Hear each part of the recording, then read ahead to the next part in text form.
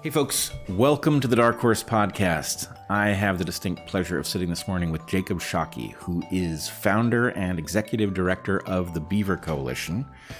Now, many people will not know what the Beaver Coalition is. Uh, I should probably say right at the top that I know you because you were my student and you were Heather's student at Evergreen. How many years ago would that have been? Yeah, uh, 2010. I think. 2010. That seems a long, That was a while time ago. There's been some stuff that has Yeah, happened since yeah, 2010. It's a bit of a different world. In Uh, yeah, it is. Uh, it is a very different uh, and, in many ways, more troubling world. In any case, welcome to Dark Horse. Thank you for having me. Uh, glad to do it. Um, there's a lot that we might talk about here, and uh, many different topics that are interrelated in various ways.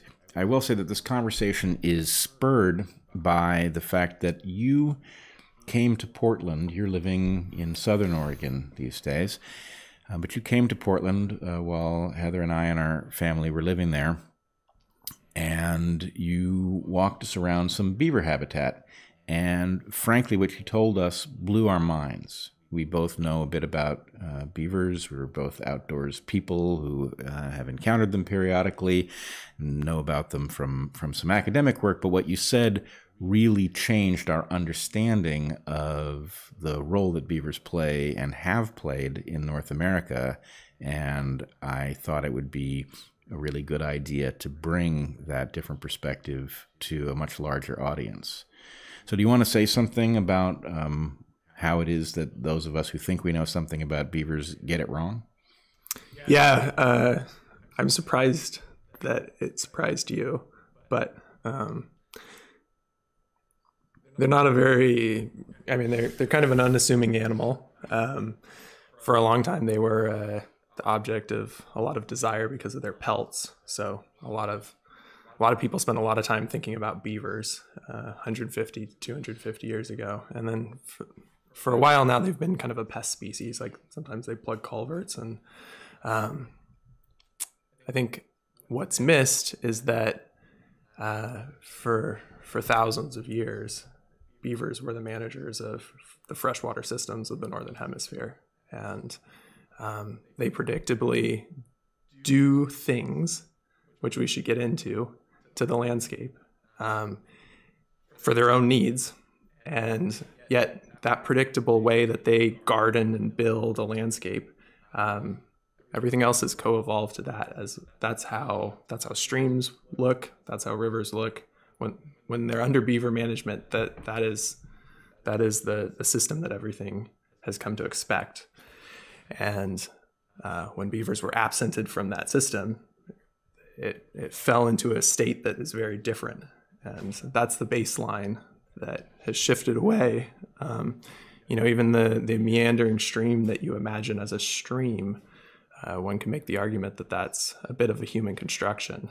Um, and so, yeah, I'm curious to hear like what your model was prior to thinking about beavers in, in a, a landscape context. And um, Well, I- I've done a lot of thinking in the aftermath of our conversation. How could something that has such a profound importance have escaped my notice? It's the kind of thing that I pride myself on seeing, and to understand that I had had it wrong caused me to wonder how that happened. And what I've come up with is that the importance of beavers is largely, uh, it's not even historical, it's prehistorical. And so I've been living my life in a context that was thoroughly haunted by animals that I was not seeing very regularly. And I think that that's the crux of it is, you know, I, I have occasionally encountered beavers in the wild, but not often. Yeah. And what that led me to to correctly or incorrectly think was that they had always been a minor player and you know punching above their weight class by virtue of the fact that you know a small number of animals can alter a habitat profoundly. But uh, my thought was that's taking place where i see a beaver pond and i was not understanding that actually many of the things that are not now beaver ponds have been dramatically impacted by past beaver activity and then further impacted by the removal of those animals both for fur and because people had other plans for those pieces of land and they didn't want a large rodent deciding to terraform, you know, their development or whatever it was that they were doing. Our first sponsor for this episode is Mudwater. Mudwater is a coffee alternative made with four medicinal mushrooms. Yeah, mushrooms, plus herbs and spices. With one seventh the caffeine of a cup of coffee, you get energy without the anxiety, jitters, or crash, and it's delicious. Each ingredient was added with intention. It has cacao and chai, lion's mane, cordyceps, chaga and reishi, turmeric, and cinnamon. This is a terrific product. You can drink it black or with cream or honey or both. Mudwater also makes a non dairy creamer out of coconut milk and MCT and a sweetener out of coconut palm sugar and lucuma, the fruit of an Andean tree used by the Inca in the subjugation of their neighbors. You can add those or mix and match a bit of their coconut milk and MCT creamer with some honey from your local bee. The flavor is warm and spicy with a hint of chocolate, plus masala chai, which includes ginger, cardamom, nutmeg, and cloves. Try blending it into a smoothie with a banana and ice, milk or a milk like substance, mint, and cacao nibs. It's utterly delicious. They've got a wonderful new caffeine free product designed to drink before bed, which is also delightful. Mudwater is 100% USDA organic, non GMO, gluten free, vegan, and kosher certified. Mudwater allows you to build a morning ritual that energizes without the crash.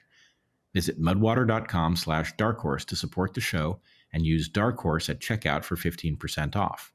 That's M-U-D-W-T-R dot com slash Dark Horse. Use Dark Horse at checkout for 15% off. Our final sponsor for this episode is Vivo Barefoot, shoes made for feet. Regular listeners are well familiar with Vivo by now, but if you're not, you're in for a treat. Seriously, try these shoes. Most shoes are made for someone's idea of feet, not Vivo's. Vivo's are made by people with feet who know how to use them. Here at Dark Horse, we love these shoes. They are beyond comfortable. The tactile feedback from the surfaces you're walking on is amazing, and they cause no pain because there are no pressure points forcing your feet into odd positions. They're truly fantastic. Our feet are the products of millions of years of evolution. Humans evolved to walk, move, and run barefoot. Modern shoes that are overly cushioned and strangely shaped have negatively impacted foot function and are contributing to a health crisis. People move less than they might, in part because their shoes make their feet hurt. Enter Vivo Barefoot.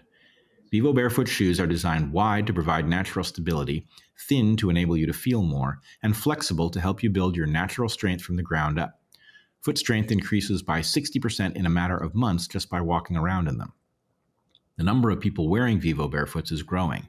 Once people start wearing these shoes, they don't seem to stop. Vivo Barefoot has a great range of footwear for kids and adults for every activity, from hiking to training, and they also have everyday wear. They're a certified B Corp that is pioneering regenerative business principles, and their footwear is produced using sustainably sourced natural and recycled materials with the aim to protect the natural world so you can run wild on it. Go to vivobarefoot.com slash darkhorse to get an exclusive 20% off. Additionally, new customers get a 100-day free trial so you can see if you love them as much as we do. That's V-I-V-O-B-A-R-E-F-O-O-T dot com slash dark horse. It was it was that that I had wrong. I thought that hmm. this was a comparatively rare animal, and that just simply isn't the case. So you want to talk about how common they were? Yeah, well, I, so I come from, uh, I, I've lived a long time in this place called the Applegate Valley. It's uh, southwestern Oregon, and uh, the the native folks there called it the spink, and I'm probably butchering the pronunciation, but that was the Takelma word for this area, and uh, meant place of the beaver. And that was that was the first thing that kind of alerted my attention because there's it's a similar situation as you describe where there's an occasional beaver, you know, but you wouldn't name it the place of the beaver. And it's it's fertile farm fields. It's a kind of narrow valley with fertile farm fields and, and a river or stream on one side or the other, or maybe the middle, you know, little bands of trees on both sides. Um, not very beavery, right? Uh, but there's a history there of gold mining. Um, this this place, there was a huge rush that came in, and this valley was full of gold. And I got to thinking about that in the context of well, this valley was also full of beaver, and miners use this thing called a sluice box, right? And it's basically a bunch of ridges that catches heavy metal that settles out. And um, sediment settles out too. And so the, this valley is flat and fertile because of this the aggregate settling out of sediment over thousands and thousands of years behind beaver dams. But those beaver dams in this context were also catching the gold that eroded from the hillsides.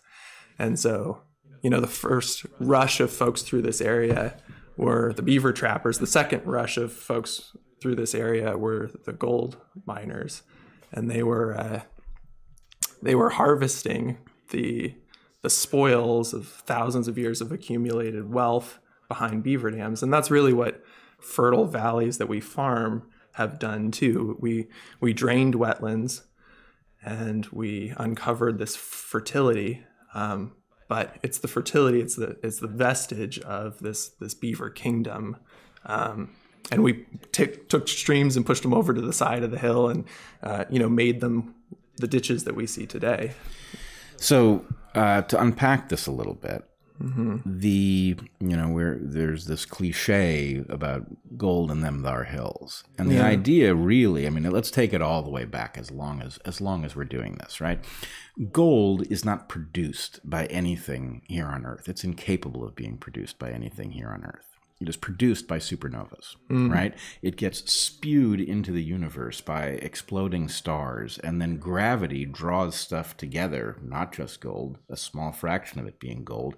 And that gold and silver and platinum and all of the other stuff gets kind of haphazardly molded into some ball, right? A planet and the point is that planet isn't perfectly flat because there are processes that push some parts up and other parts, you know, erode away. And that results in a process where all of these heavy things are distributed at arbitrary heights and then gravity slowly works them down, presumably into the seas. Right. But if you have a beaver doing its beaver thing, then the point is, well, that actually creates this sluice box. Is that the term? Yeah.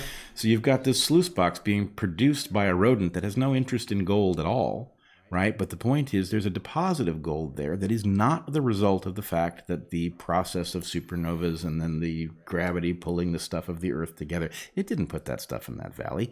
Beavers put it in that valley. And so, this first place where some huge amount of wealth is the result of this rodent's activity and then, of course, there's a gold rush, which, you know, I've never heard beavers mentioned as an important right. feature of the gold rush in my life. But of course, they were central to it. Yeah, the key stage. contractors for thousands of years. There you go. Did you say key contractors or pre contractors? right. right.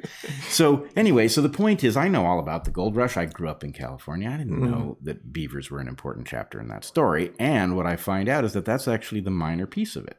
Right. Right gold is one thing, yep. but there's also the fact of the fertility of the West, which is a result of a parallel process that is downstream of it literally downstream of exactly the same activity of this absolutely remarkable rodent. Yeah, yeah. Yeah, and we have an interesting relationship with it because I feel like we look at it as a fellow ecosystem engineer and there's a bit of admiration. You know, we've got uh, busy as a beaver and right. all this stuff, but we also have some disagreements around the landscaping. right. We have not agreed on blueprints, and so when no. it starts architecting, if we yeah. have other designs on that piece of land, we consider it a nuisance. Yeah, it's tr- it's troubling. It's upsetting uh, to our sensibilities, and the thing is, you know, we've we've taken these flat lands and we've assumed that those flatlands are stable as they are. We don't quite see that these these fertile fields that we've been harvesting that fertility and you know food. Um, that's a that's a system that has been degraded to that state, and so I, I spend a lot of my time kind of helping folks with beaver issues. It's because they've then brought in houses and roads and all these various things, and they've built it on these vestiges of wetlands and uh, and gravity being what it is. Um, when beavers show up in that context and they start to build back the dams, uh, you sometimes have cities and subdivisions in the way. Um, and a lot of what I do when I'm talking with like a city to planning department is just to point out simply like, okay, well, be careful where it's flat because a lot of what we're seeing right now, um, you know, a family's been farming a piece of land in Oregon for um, maybe five generations, and they've been farming right to the water's edge. Um, the water has been ditched into a, a stream, um, and then all this fertility is growing food and what have you. Um, and then when that sells to subdivisions, uh, like on in the urban sprawl, we do this thing where we where we say, well, now we're going to make the stream pristine. We're going to plant trees along it, and those are going to filter the runoff from all of our you know impervious surfaces. And when we plant trees, that was the thing the beaver were missing. Mm. That was good beaver habitat, and they were just missing the trees. The farmer the last was last ingredient. Yeah, and so then they move in, and they bring that water back up to where they would expect it to be, and um, things get flooded. And so there's this cycle that's happening across the West now with urban expansion that's actually facilitating more beaver habitat in these in these systems that have been, you know, the the, the nerdy biology term, right? At limiting factors. Uh, the, the, the trees were limiting well, so this is a uh, a beautiful story and a tragic story in many ways because um, isn't it marvelous at one level that you've got this creature that's literally responsible for making the bottom lands flat and rich and full of gold and all sorts of other things that we like. And we've made it very inhospitable to them by shooting at them and terraforming in our own ways and ripping out their dams and draining their wetlands and all these things. But some part of us still has a you know a vestige of that land is good because it's aesthetically nice right that's mm. a proxy for good land right how would you know that you yeah. want to settle here well it might be that it looks very beautiful to you and that is actually an indicator that it has all the stuff you're probably going to want so you know we like it when the stream has some trees, right? That looks good to us and it looks good to the beaver. And you put the trees there, and holy moly, you've just unleashed this animal that's responsible for all of the wealth that you're profiting from. And your sense is, oh my God, that's terrible. Right? Yeah, like, indeed. oh no, those trees. right?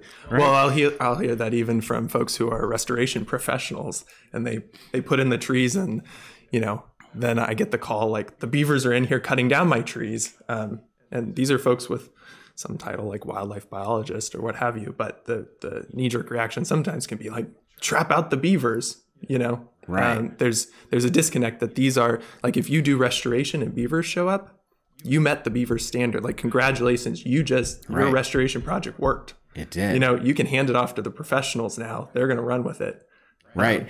And and you're right about, you know, this is why a good biological model is really what you want because in some sense it's not really surprising that you would sometimes be one ingredient short of perfect habitat for something like a beaver, right? And if you don't think about it in those terms, right, you think, well, there are no beavers here. It's probably not good. And it's like, no, you're real close, right? And if mm-hmm. you put that one thing there, boom, there's almost nothing you can do to stop this next Indeed. part of the process, which you might not like. Um, but it is, uh, well, let's just say it is an incredibly powerful force. That's really to the extent that some of us have been, and I, you know, even though I miss this aspect of them having transformed much of North America, um, I have been fascinated by this animal for a long time because the um, the disproportionate capacity to affect the world around it. A small number of individuals being able to radically alter a habitat and turn it, for example, from you know a, a, a rushing stream into a small lake. Right? That's an amazing capacity for an animal. And then, you know, if you told me there was such an animal, I wouldn't leap to the conclusion that it was going to be a rodent. Uh-huh. Right? Like right. a small number of individual rodents are going to build me a lake, right? That seems odd, right? This is not. Um, it's not the clade that I would go to if I was looking for uh, an animal that you know. I mean, how hard would it be if somebody assigned you know, in your case, you've spent enough time with beavers that maybe you'd do a good job. But if you gave the average person the job of make me a lake here and you gave them a saw to chop down some trees and you said you can put the trees how you want and you can mud up the spaces in between you know most people would not be able to create a lake and yet this animal under it's not just that it chops down trees and uses them to block water flows and that that creates lakes. It's that it apparently each one of these valleys is its own puzzle and Yeah. it solves that puzzle Indeed. right each time it figures out how to do it and And it does it collectively as a family, which is also interesting. so let's get into this let's let's just fill in the natural history yeah. of beavers so that people understand uh, what a remarkable and strange creature this is So I, we can start with family, Yep. right? Um, they seem to mate for life. Um, you've got a mom and a dad, and not very sex- sexually dimorphic. You can't really tell the difference. Um, some biologists have figured out a method. You turn the beaver upside down and you squeeze their butt and you sniff, and it either smells like diesel or cheese. and really yeah, so you know a true beaver biologist Yeah. if they know the diesel or cheese. Um, yeah, uh, so you can't really tell mom or dad apart. Um, then they'll have like two to four young ones on average uh, a year, and they the young ones stick around for a year or two. So you've got teenagers, helpers, right?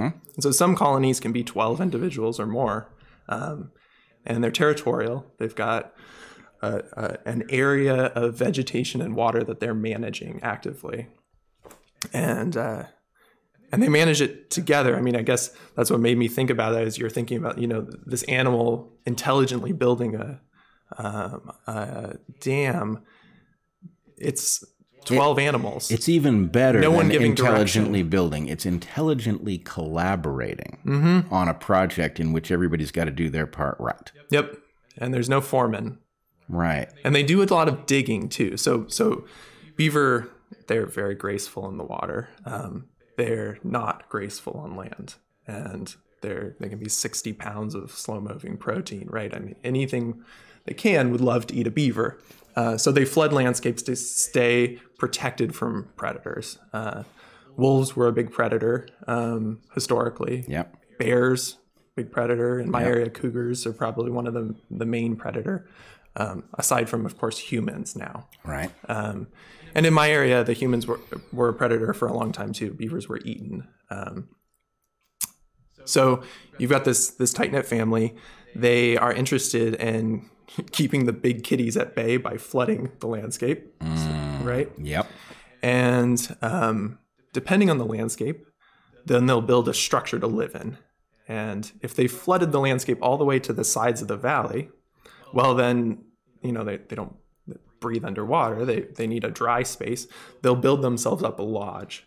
And it's this freestanding mound of sticks and mud. And it has an underwater entrance, right? Kind of a front door. And sometimes it'll have many uh, cavities in it. Sometimes they have kind of a mud room, like dry your feet off and then come up to the main chamber. I think I know which beaver thought of that.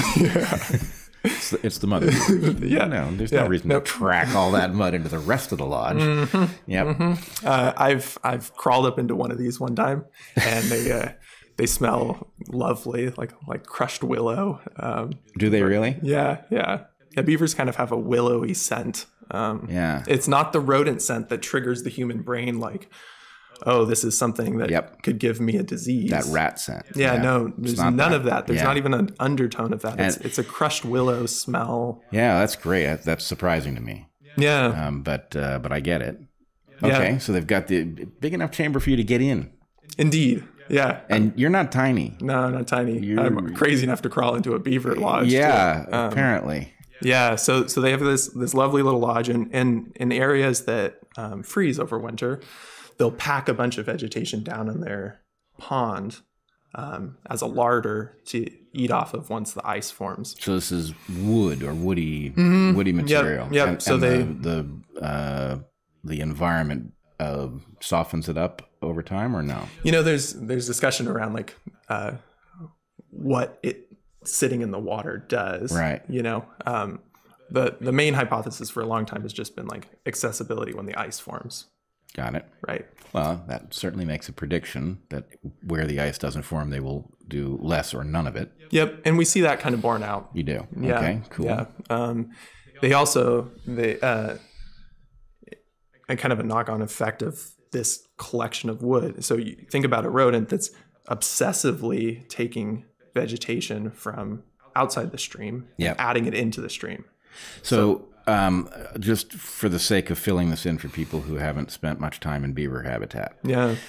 you've got beavers will put in a investment over what must be weeks on a very large log, right? I've seen that. Oh, I see. One big tree. One big tree, Totally. which has to be on the shore Mm-hmm. and has to be leaning in such a way that they can predict that it will fall into the water enough that they can then swim it to wherever they need It's a lot easier if it falls in the water. A lot easier if it falls Mm-hmm. in the water. It, there's presumably nothing they can do with a large tree if it falls out of the water. They will utilize it.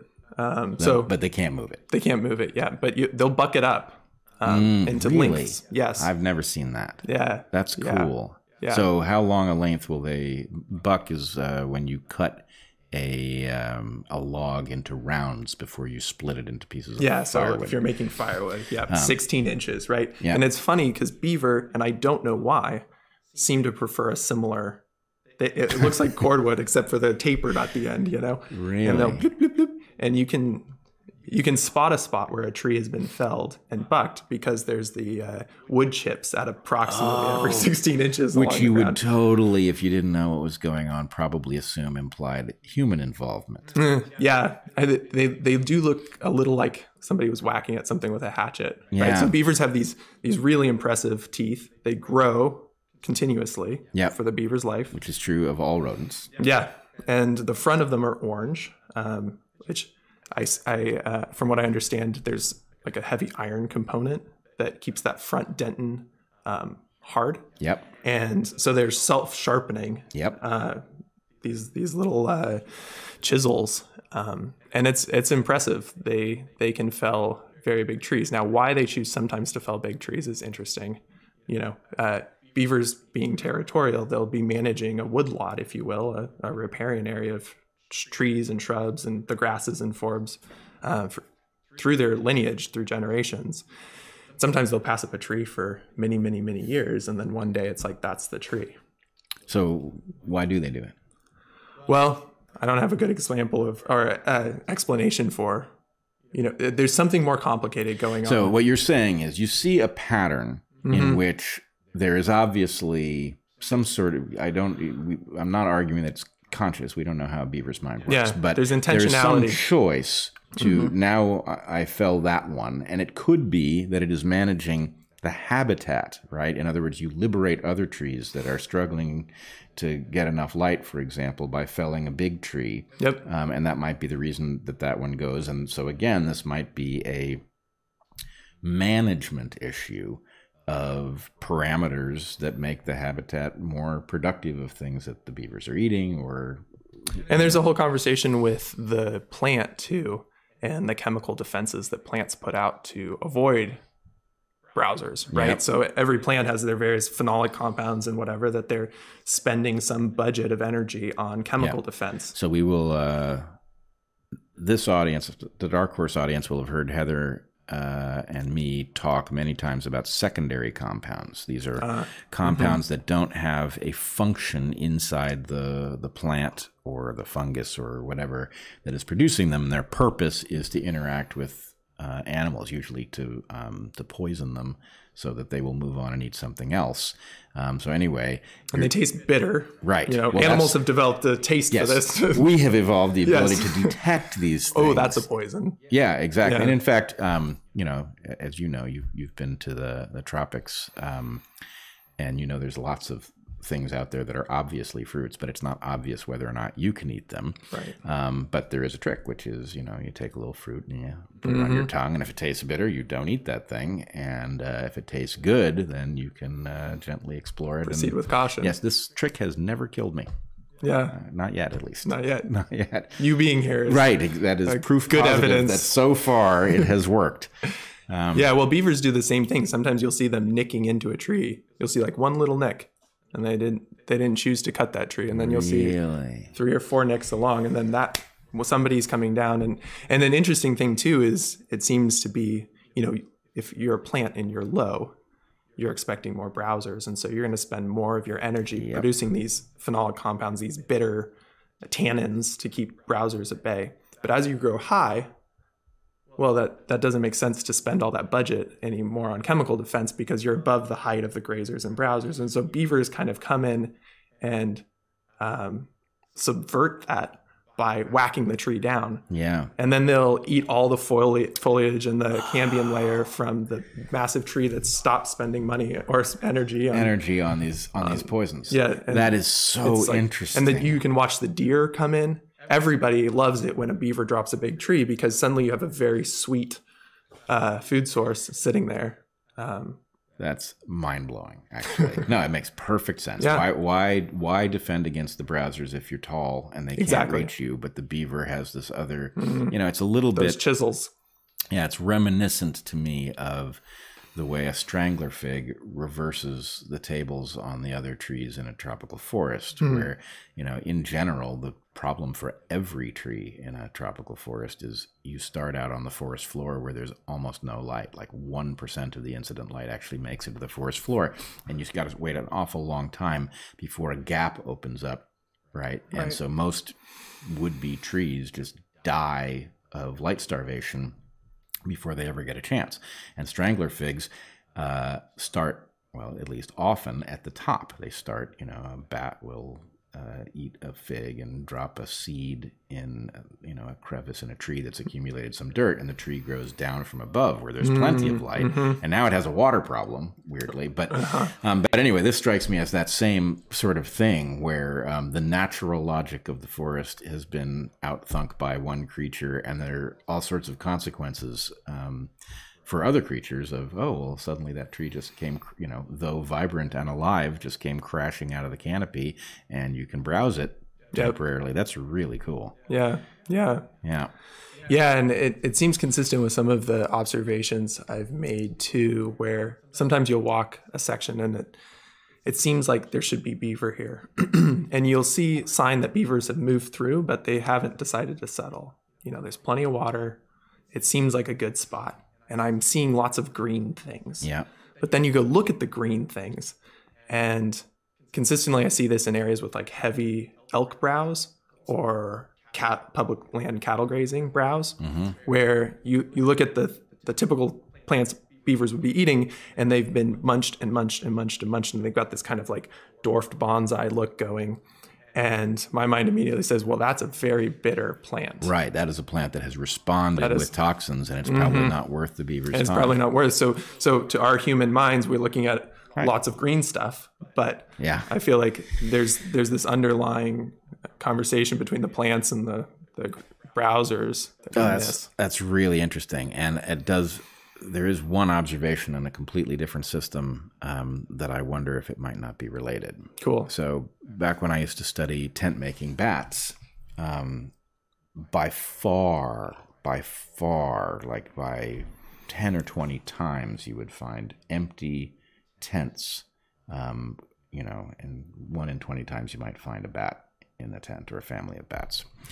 Um, but then also, in addition to all of the empty tents, and the empty tents have a relatively straightforward answer uh, explanation, which is that the bats are moving on to where this was the hypothesis I tested while I was doing my dissertation work was that these bats, all of the tent making bats are small, and they pay a high price for locomotion. The bigger a bat you are, the more efficient a flyer you are. And so flying long distances is, ex- is expensive for these animals. And so they are placing tents near the fruiting trees.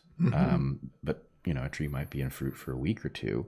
And then it's not in fruit, and having a tent there isn't all that useful, so it moves on. So there's lots of empty tents Sure. because they're sense. always in motion. yeah But there's also this other phenomenon of partially built tents that never get completed. And, you know, presumably sometimes that's the result of the animal having started something and then being consumed by a predator, sure right? But there are too many of them for it to be that. And I wonder if there aren't, you know, I, I wondered if some of it might be practice, you know, the building a tent, they build them in, uh, well, when I was working on Barro, Colorado Island, I was there for 18 months and there was literally only two species of understory plant with a large enough leaf to make a tent that I never saw a tent made in.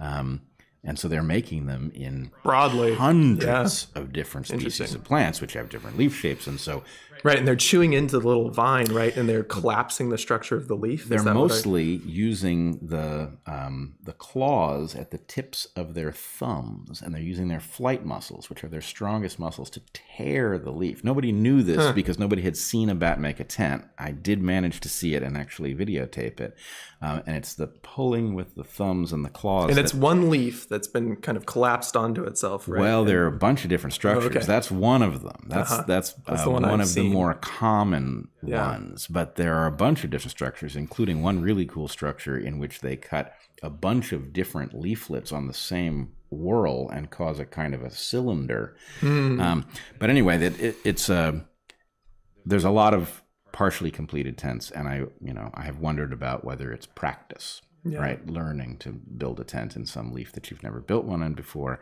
um, but it is also possible that there is something about toxins. Right now, uh, it's unclear that they do very much uh, with their mouths, so maybe they're not being toxified that way. But it's it is possible that the plant is releasing something, you know, when they uh, tear into it, and that is that is noxious or something.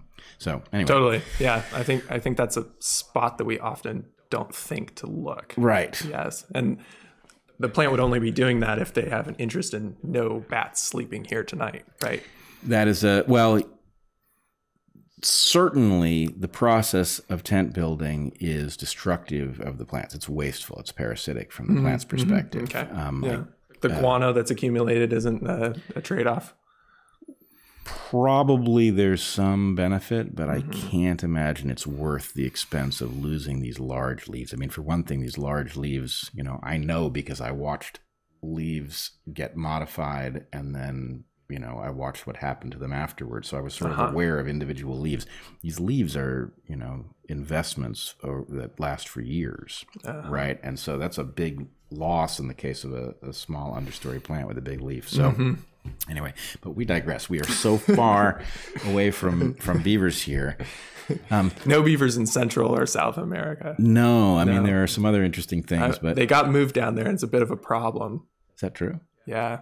I Yeah. have not seen them. Oh yeah, the, the Patagonia beavers. Oh, I guess that makes mm-hmm. sense. Yep. Far enough. That's a landscape that did not co-evolve with logging. And so, what has happened? Well, so you see the the plants drown and die, and there's these large deserts of water and vegetation death. Wow. Which is completely the reverse of what you see in the entire northern hemisphere, Europe and North America, where you just see this explosion of life. Like everything's like, oh, thank goodness. That's so fascinating. Yeah. and and it's it's a it's a beautiful demonstration of two things that Heather and I talk a lot about on Dark Horse. One is welcome to complex systems, mm-hmm. right? Just because that this animal is a uh, a source of bounty in one habitat doesn't mean that it's a source of bounty inherently, right? Right. It can be a destructive Yeah. force elsewhere, which is really uh, um, interesting. Uh, and it's also a question of hyper novelty here, where you know a beaver from North America isn't going to find its way to Patagonia absent human help, right? But uh, once you provide that help, I would imagine it's a pretty difficult creature to remove. We've been helpful that way with a lot of animals, and yes, beaver, their fur being as luxurious as it was, we we thought it was a good idea. I wanted to ask you about that. I do want to Yeah. Mm-hmm. finish out the natural history story, but um, in general, when a creature has a particularly cool pelt, there's a reason, Mm-hmm. right? So, if- in the case of otters, which I sea otters, which have the densest fur of any mammal, I believe, um, it's a wetsuit, Yeah, right? And the point is, you've got a small animal who is in cold water and would radiate away all of its heat. It wouldn't be possible to have that otter if it wasn't effectively not in the water because it's wearing a wetsuit that is so dense that it is actually keeping the skin from contacting the water. All right, so what's going on with beavers? same Same? exact thing that you laid out, and in fact, that's why their pelts were worth so much. It wasn't. Uh, worth a lot on the leather if you will um, these pelts were being shaved and then that that underfur that densely packed underfur was being felted and that's abe lincoln hat you know the tall Yeah. stovepipe hat those things held moisture at bay and heat in because it was the felted underfur of beavers. And so, Felted. I never yeah, understood that. I, yeah. The Matt is a hatter thing is Yeah. because they were using uh, Mercury. mercury. In Yeah. that. Yep. So it's it's felted. Well, I knew about the mercury. I did not know that that was uh, beaver felt. Indeed. Yeah. So that, that whole period where it was fashionable to wear a black hat uh, of a certain shape and really silk, the, the, the influx of silk from Asia saved the remnants of the beaver population in this continent uh, because then fashion fickly turned to silk and, uh, and there were some some refugees left on the landscape. Jeez, there seems to be no end to the number of things I didn't know about these animals. um, that is that is amazing. I assumed that the pelts were being used in the. I mean, people make coats and stuff too with the fur, but Right. the, the real use, and, and still today, uh, the best Western hats you can buy are, you know, how I don't know how much you've worn a cowboy hat, but there's an X system, like it's a 1X hat, a 2X hat. You know, you have a 10X hat, and the X's got weird. Now they're saying it's a 100X. Doesn't matter. That's grading on how much beaver fur there is versus rabbit and some other animals. really. Yeah, it's a it's a percentage of, you know, you're you're really balling if you got a hundred percent beaver fur because that was very expensive to manufacture. But it also means it's the best hat. Um, Interesting. you know, whereas a 10x, you know, you're working up. Yeah. well, I have a hat that people take to be a cowboy hat, and they give me a lot of crap over it. It's a leather hat, which is freaking marvelous for the field because it, uh, you know, it can be pouring, and the thing just keeps the rain away from you, and you can, you know, it needs a little work, and you can put avocado oil on it or whatever. It's a great hat, but it ain't it ain't uh, beaver felt or anything related to it. Yeah. Um, okay, so let's let's go back to the natural history of these animals. So they build a lodge, pair Mm-hmm. mates for life. yeah, I didn't finish out the lodge story. Yeah. So so in a context where they've been successful and they've laterally, you know, across a valley wetted the system. And they've got this spongy wetland of habitat Yeah. that's growing all this stuff that they're eating, and um, then they have to build a lodge.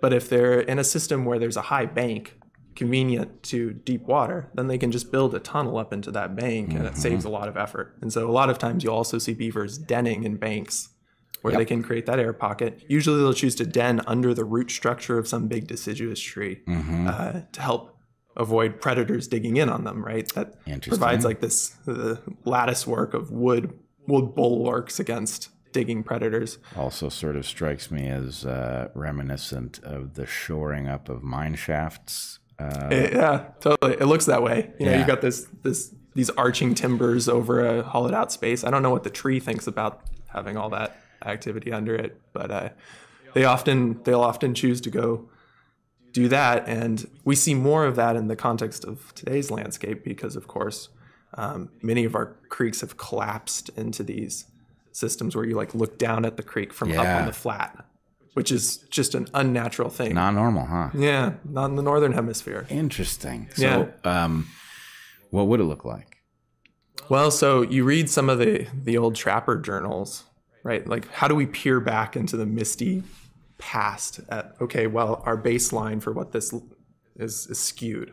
What you can't go to Grinnell's journals, the, the, the naturalist who came through and um, kind of recorded what he was seeing because that was post beaver trapping. Mm. You know, so you've got a little bit on on trapping journals and and some of the maps that were being produced and you know, just some of the accounts where you'll hear about a, a party that would come into come off of a ridge top and they get to a valley and they'd spend a day or two trying to find a spot to cross the cross the valley because it's just one epic Spongy. beaver wetland. Yeah, it's just a spongy wild world and they would find usually a beaver dam to cross and these beaver dams had persisted on the landscape so long that you could actually walk horses and wagons across these things these things were wide Wow. and so, deeply rooted do you have, Mel? obviously you're telling me it's a little hard to figure it out uh, Mm-hmm. because the evidence wasn't well preserved. But any idea how long uh, a history, a beaver dam that you could take horses and, and uh, yeah right like how, how, how old is How old is that? Yeah. Yeah. Well, that gets into kind of um, do these things get passed down? We know they get passed down, right? We've got these families that are tending these things, um, but it's it's not as simple as uh, you know you've got your natal family and they defend it against all others. Yeah. Um, there's many accounts of actually beaver families taking in refugees. Um, even some of the early accounts from 150 years ago.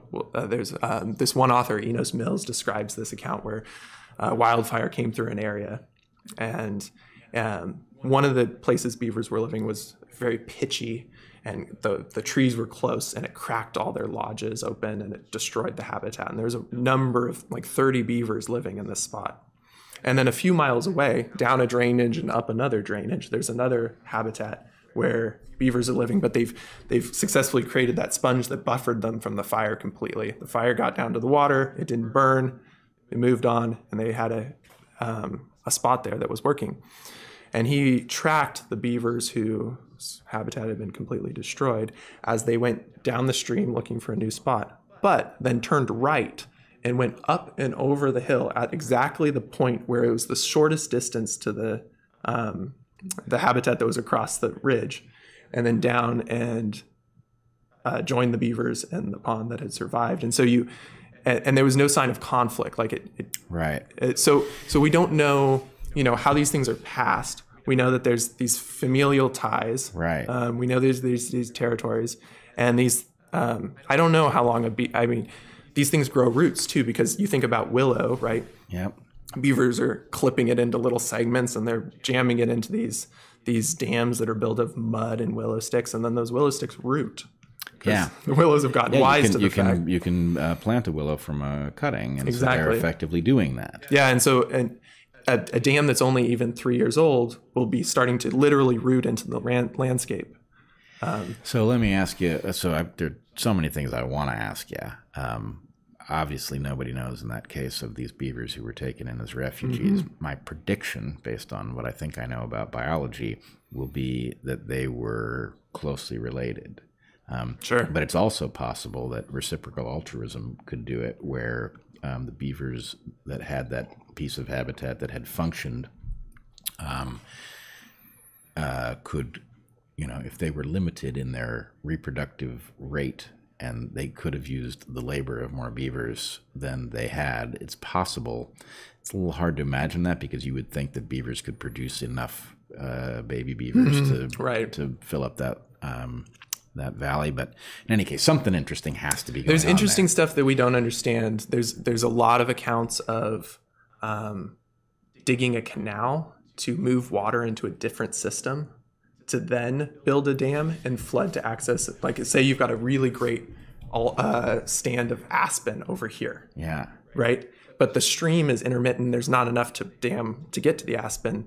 There's many accounts of beavers. They they dig canals across the landscape and they'll divert water into a, an adjacent system, then utilize that water by building a dam, and then log out the aspen grove. And again, they're doing this with no foreman. It's like a flume. Yeah, you Yeah. know, sure. Yeah, a canal. Yeah, no, that's uh, that's beautiful, and um, you know, as you probably remember from class back in 2010 or whatever, um, one of the things I'm interested in is um, ways that evolution solves longer term problems than you would think it could, Right. based on lineage selection and explorer modes. And so, anyway, this strikes me as a as a good a good case that one might go pursue those things and and discover that um, you know what has to be true for the reward of you know investing in a canal to a habitat that isn't wet enough you know pays off. Well that can very easily be true if you're dealing with a lineage level Indeed. um, phenomenon for sure. Yeah, yeah, and uh, to your point about age of Beaver Dam too, um, there's this this stream called Spawn Creek outside Logan, Utah, and uh, when you go walk up it, there's there's a number of beaver dams, and it's a very high gradient creek. So they'll build a 12 foot tall beaver dam, and it doesn't buy them a lot of pond before they need to build another beaver dam, Right. right? Because the the stream is steep enough that whereas like in a low gradient valley. You can build a two foot beaver dam and get, Get it. acreage right right? So you walk up this stream, and then you'll notice that there's these stair steps of calcium um, in the stream as well, and they're they're these funny things. They're like these benches of calcium, um, hypothesis being those are more or less fossilized beaver dams mm. that the calcium carbonate precipitated out yep. over a very long period of time. And aspen being what they are, that that being has been there for a very long time, and so beavers have been there for a very long yeah, time too. This makes some. I've I've wondered about this looking at uh, beaver ponds for so long. How they, it's like they are a standing wave, mm, right? Mm-hmm. And you know you have to start thinking in terms of an equilibrium, and you have to start thinking about, uh, you know, I mean, um, Dawkins of course uses beavers uh, to elucidate his concept of, uh, ex- of extended phenotype, which I think is actually it's a great concept. Yeah. Um, and beavers really are a tremendous exemplar of this, where you know if you're just looking at the animal, you're really not looking at the animal because the animal is all of the consequences of the animal yep. that make the animal possible, right? Including making its own little lakes, right? That's um, an amazing thing. But if you then project it through time, and the point is, well, you know, a lake once made is valuable at lineage level, and a lake once made is a way of bootstrapping your way to some location that was too far to be useful, right? The, the, possibilities that are opened by an animal that can terraform and can do so over centuries or potentially millennia is that's a very powerful force, um, much more so than you know the road from which it's built.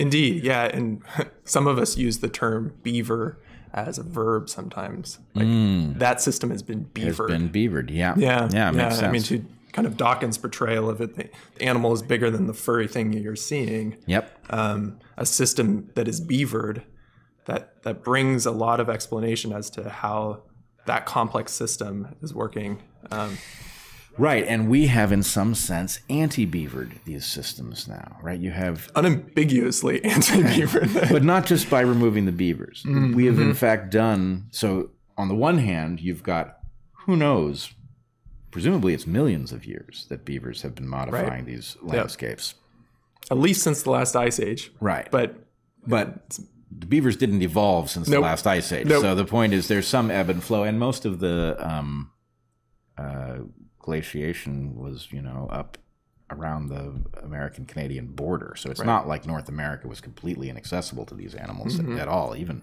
even during glaciation. So we're talking about millions of years of um, these creatures modifying habitats and uh, sediments accumulating with their gold and their nutrients and all of these things, and then. Um, of course, you know, you have a couple of influxes of people. You have the discovering of America from the east, mm-hmm well, actually from the West first, right? Um, from what we call the East, right? Asians who have come through Beringia, yeah, um, and uh, you know developed into so many different cultures in the Americas, and then you have the second influx of Europeans who rediscover America and um, intensively exploit it in a mm-hmm. way that not only do they trap out the beavers for hats and the like, um, but we have now taken to intensively uh, extracting resources. The, the technological revolution has allowed us to produce, you know, with the Haber-Bosch process, we can fertilize crops and they grow ferociously. We can irrigate them. We can exterminate their pests. But the point is, um, you forgot about equilibrium right? Right. There were some things that you're depending on, and you're now spending them down. Mm-hmm. And topsoil is absolutely one of these things. Right, yep. we are in a topsoil crisis, and we are increasingly close to effectively growing our food hydroponically in dead soils that we then pump nutrients that are the product of an industrial process rather than a biological process, right? And you know, in some sense, that's what happens when you view the beavers as uh, a phenomenon limited to that little or not so little bundle of brown fur rather than as a landscape altering equilibrium maintaining force of nature well we can were. even say weather changing well, please please tell us about the weather changing well so you know the uh, the hydrologic cycle that you know you learn when you're a kid and it's then you relearn it and you relearn it. It's like kind of this, like the salmon cycle where people like to put it on a graph, but basically, uh, you know, water evaporates in the ocean, forms clouds, comes over land, rains, moves it back out on stream, Yep. right? That's a pump. Yep. And what drives that pump? Well, one of the things that's most important in driving that pump is vegetative transpiration, Mm. right? so you've yeah, got yeah. you've got trees and they do it most where it's a wetland, breathing this moist air up, and that's that's a uh, or a lack of pressure rather that draws in the clouds off the ocean. Yep. Um, and there's there's some wonderful work on this. This guy, Professor Millán Millán, has been working in Spain around this. Um, I think it sometimes is called the term biotic pump. Um, but you've got a cycle where you've got the land pulling the moisture up out of the out of the sea, uh, and it's really the it's it's how much moisture you're putting up there that creates that pressure or lack of pressure that draws in the clouds. And so beaver wetlands, that's that's where you get most of your vegetative transpiration. So, And you take that out, yeah. you've got less. And you put them in a parking lot, you've got even less. And you can imagine these rain pathways that have been thousands of years of rain pathways. And there's a certain thing that maintain that pump. And then we make land use decisions and we start doing things like turning these wetlands that were facilitating that pump into croplands where we're keeping things on life support. Yeah. And more or less, it's functioning as a desert as far as what it's giving back to the air most of the year. And you can see how we're going to start break, seeing the breakdown. And we've seen the breakdown in rain patterns. And, you know, you can even look at in mythology in Iran. Um, one of the uh, the rules was you never kill a water dog. They called the beavers the water dogs because a drought will follow. You know, back to your like useful mythologies, right? They had they had laws on the book like you killed a, a water dog and there was severe penalties. You had to pay a, a restitution. Um. And similar thing within the indigenous communities of North America. The, the trappers that came in had a really hard time persuading any of the tribes that were in drought prone areas to trap beaver. Mm. They got the, the forest tribes to sign on board much sooner than any of the tribes that were sensitive and and and most of those folk had stories that maintained a um, uh, rule against overharvesting beaver because then you then you lose the system that's me. I mean, I hunt. I people who hunt will tell you the productivity is there at beaver wetlands. Like that's where the fish are. That's where the game is. Like you're hungry, Yeah. go to a beaver wetland. Yeah. Right. And so this this ecological wealth um, is not only the beaver. It's not only the landscape, um, but it's also driving these these patterns that uh, we're even more reliant on. Yeah, so it, it it's interesting if you think about you know the the the thing that we teach about uh, effectively evaporation, um, creating humidity. The cloud gets to the mountain, it rises, it cools, the water falls out, it runs back down, eventually ends in, in the sea. All true.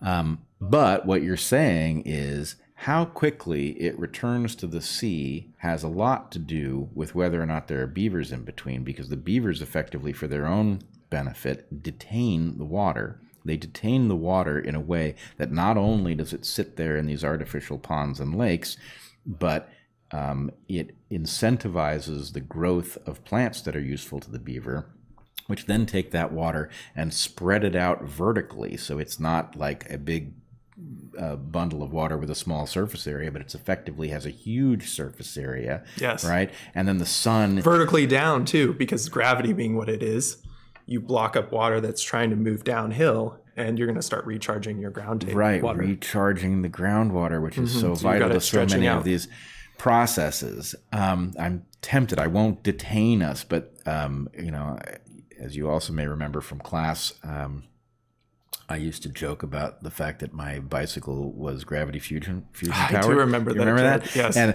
the basic punchline of that whole story is that all of this stuff, almost no matter what, including things like um, uh, like nuclear fission, are solar powered, Mm-hmm. right?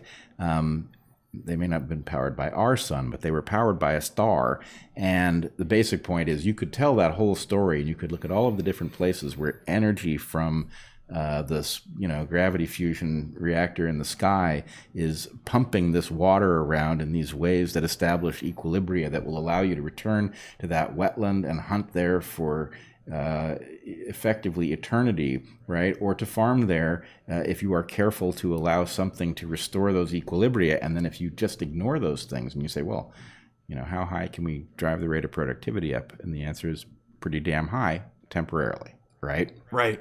Well, and if we're talking about residence time in that cycle, another component of that is if you don't have the draw, then you still have uh, water vapor hanging out over the ocean, but it just can't go anywhere, right? Right. That's a that's a powerful greenhouse effect. Mm, uh, right. Professor Millán Millán uses the number 40 times more powerful than CO2. Yeah. You know, I don't know, but you've got suddenly a, a lens of vapor that doesn't have anywhere to go. It can't go condensate and rain. Right. And so it's stuck there. It's not like we are running out of water. Our planet has just as much water. Right. Right but our land is running out of water. Yeah, that's interesting. That's really interesting. And actually, um, you pointed something out. I'm a little embarrassed that I didn't know this also. Right. So I've been uh, since I was. You're a rather intimidating figure to bring anything in this realm to, and so I'm kind of pleased. No, no, it's it's good. I, I'm always delighted by people who know stuff deeply enough to just deliver important facts that you've somehow been overlooking. Yeah. Um, I I picked up the habit from my uh, grandfather, who was um, my earliest scientific mentor, of you know being glued to the window of the aircraft when you fly anywhere. Oh, yeah. because there's so much to see, right? It's troubling for us with long legs because we both want the aisle and the window seat.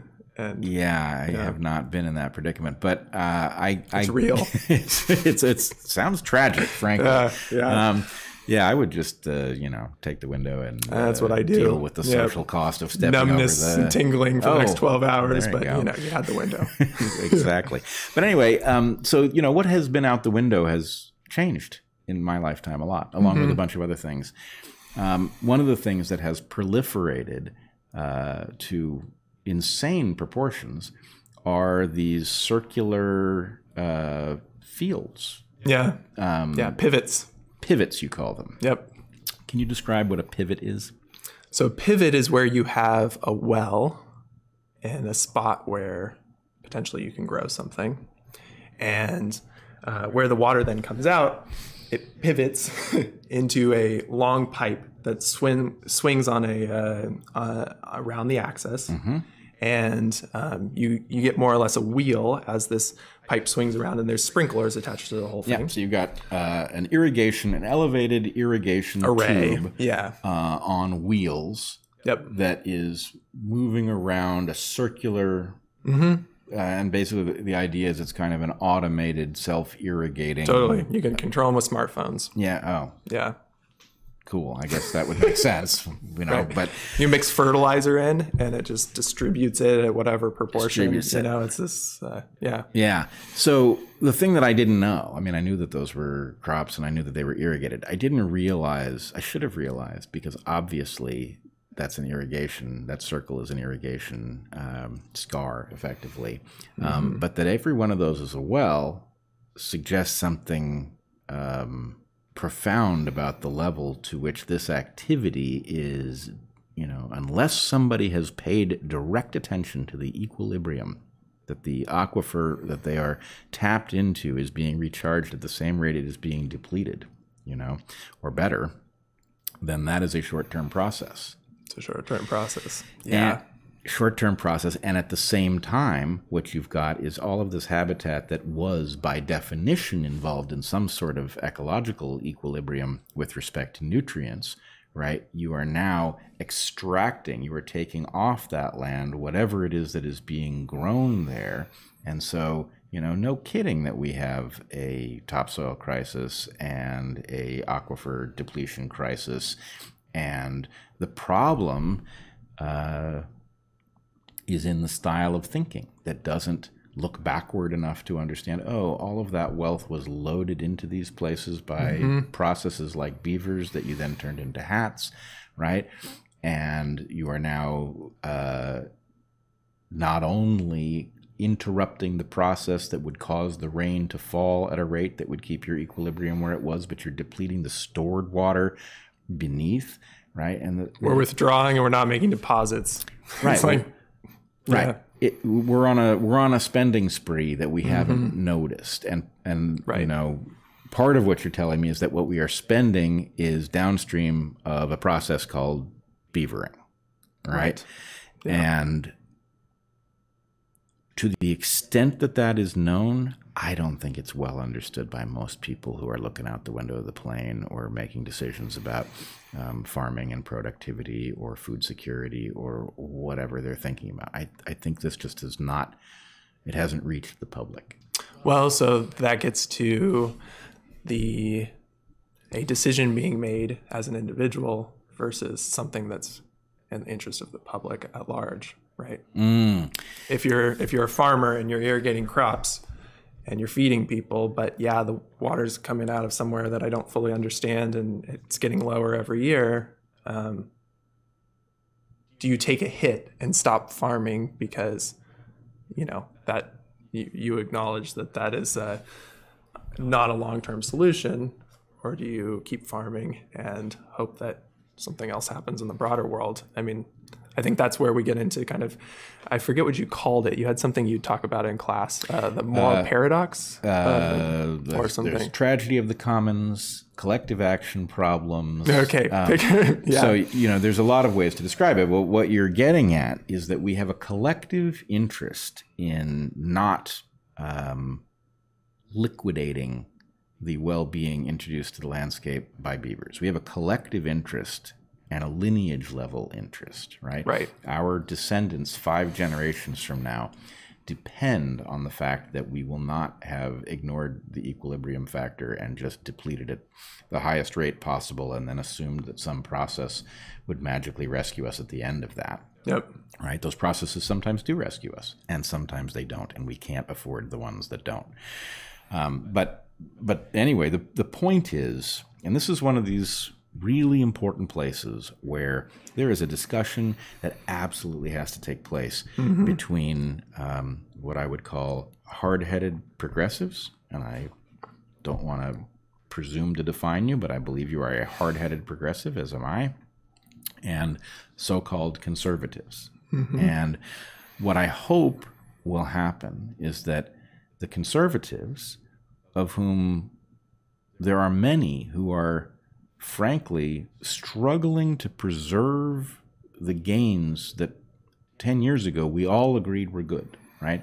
Struggling to preserve, you know, a fair, colorblind society um, in which everyone has access to the market and, you know, a means to get ahead, in which, you know, merit produces rewards. Conservatives who are doing that job are I now find them strangely deaf to the idea that being a conservative also naturally requires us to preserve the substrate on which we all live, right? That the society that does, you know, reward hard work and insight and doesn't give a damn what color your skin is or what your sexual orientation is or any of those other parameters. That society only works if the underlying stuff continues to exist for us to to utilize. And in some sense, what I'm getting at is I believe that sustainability is a natural concept that conservatives should embrace. But because of uh, the dialogue about ecology having focused so heavily on global warming, and because there are clearly things wrong with the portrayal of global warming, I don't know. I assume you're not a dark horse uh, listener, but you know, Heather and I have navigated this a bunch of times, right? We are, believe that global warming is real, but we also believe that we are being given a story that's far too um, black and white to be realistic. That in, in does have a high PR budget.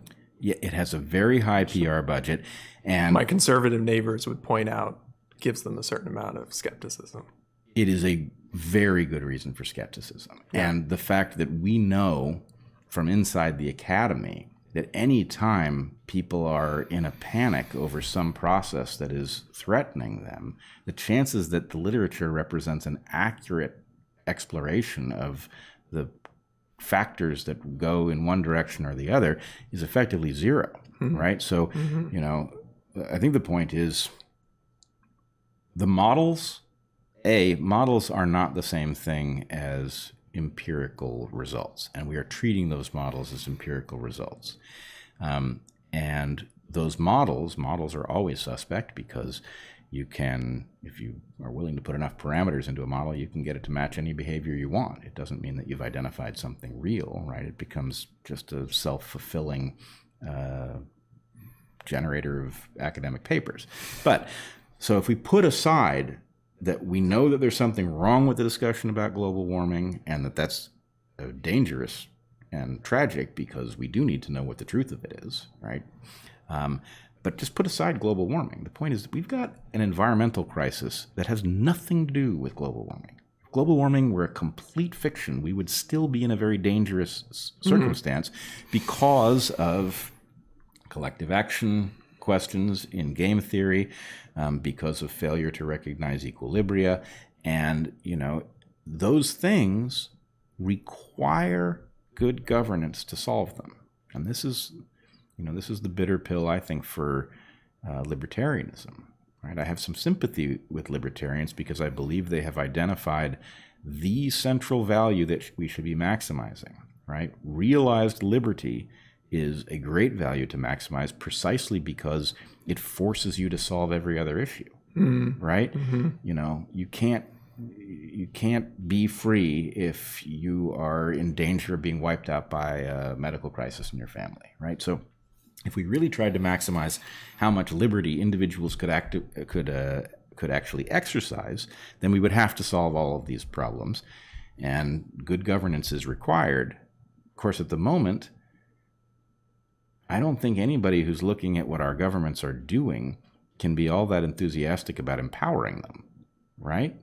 So, anyway, I've again led us far afield, but um, Well, I think there's an interesting thing here in that um,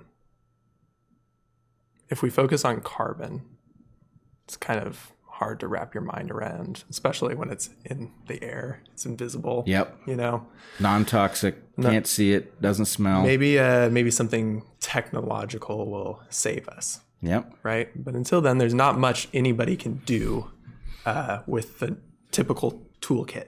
yep, Whereas if you're thinking about the water cycle and you're thinking about this complex system, there's a lot that each individual human can do um, to facilitate a shift. I mean, it's it becomes a land use conversation, right? And um, you know, it's interesting. What I have a lot of friends who are are very conservative, and they uh, they have a um, a deeper relation to the land, if I'm going to paint with a broad brush, than a lot of my friends who are much more progressive, right? Um, in fact, usually the folks who know the most about beaver are the beaver trappers that are being demonized then by the folks who are trying to save the beaver, right? And yet, these uh, these folks know more about beavers than a lot of the folks who are raising money for beaver projects, right? Um, but I wonder if there's something with the baseline, you know, the baseline that conservatives are are feeling protective of um, doesn't extend far enough back to prior to when we started the extractive process that is, um, you know, not going to go too long in the future. Like, like there's something that's invisible back there when beavers were in charge of water for all of North America, and and we the conservation tendency, the conservative tendency to like, hey, let's stabilize this system where it's at and just change when we see it necessary. Um, I don't think it's it sees that. I mean, this was Yep. the case when we came in and uh, made national parks, right? The, the, the Yosemite is the perfect example where there's these huge, beautiful meadows and these, you know, towering trees, and and there was the conservatives of the time were like, there's just this one problem. There's these people who live here, Right.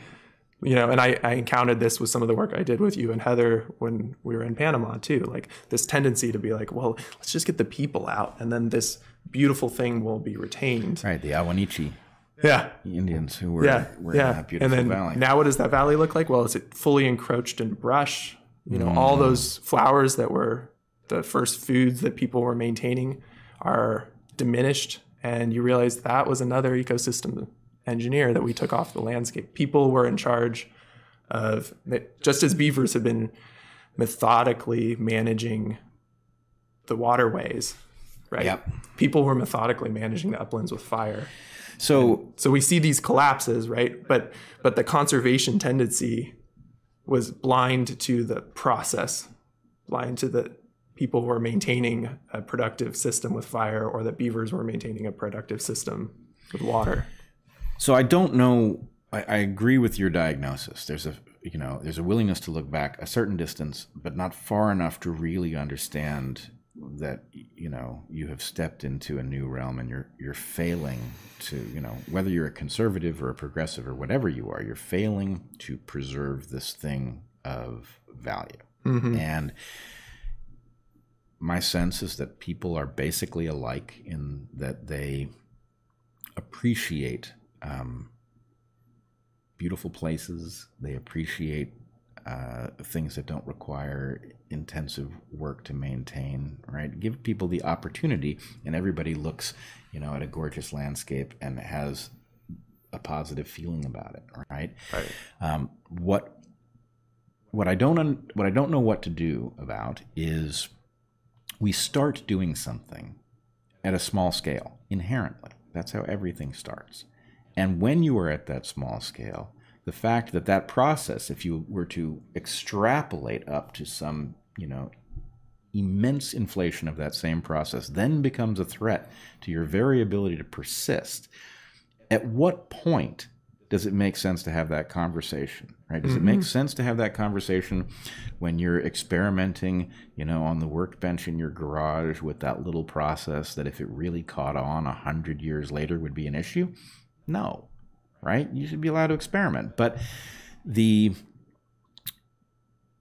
there is no way that functioning at the scale that we are at, that the right answer to the question doesn't involve, okay, in what way can we rationally rein ourselves in mm-hmm. without triggering any of the failure modes, right? Well, if we rein ourselves in and our competitors don't rein themselves in, the place gets destroyed anyway, and we will also have lost out and they will be more powerful than we.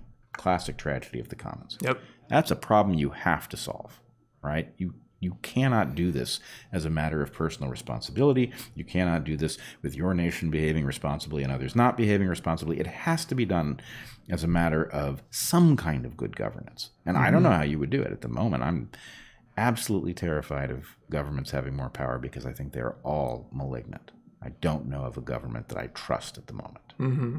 But, you know, I also don't want to die of that concern because it means, well, we're not going to manage any of the things that have to be managed in order for us to persist. So, doesn't that seem like a, a natural place where conservatives and progressives ought to be talking at this moment about how can we keep doing, you know, how can we continue to have the goose that lays the golden eggs without destroying the world on which it lives?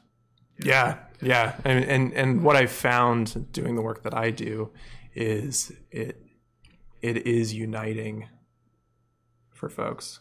Like as long as it can not become a fuzzy animal that needs saved issue. If we mm. can stick to beaver are a process. This is an intelligent, complex thing that we need to defer to. We need to put the professionals back in charge of our water because what we've been doing with the water doesn't seem to be working very well, right? Um, that's something that I've found consistently everyone can get on board with. But then you start saying, well, on your land, you now have to make a concession.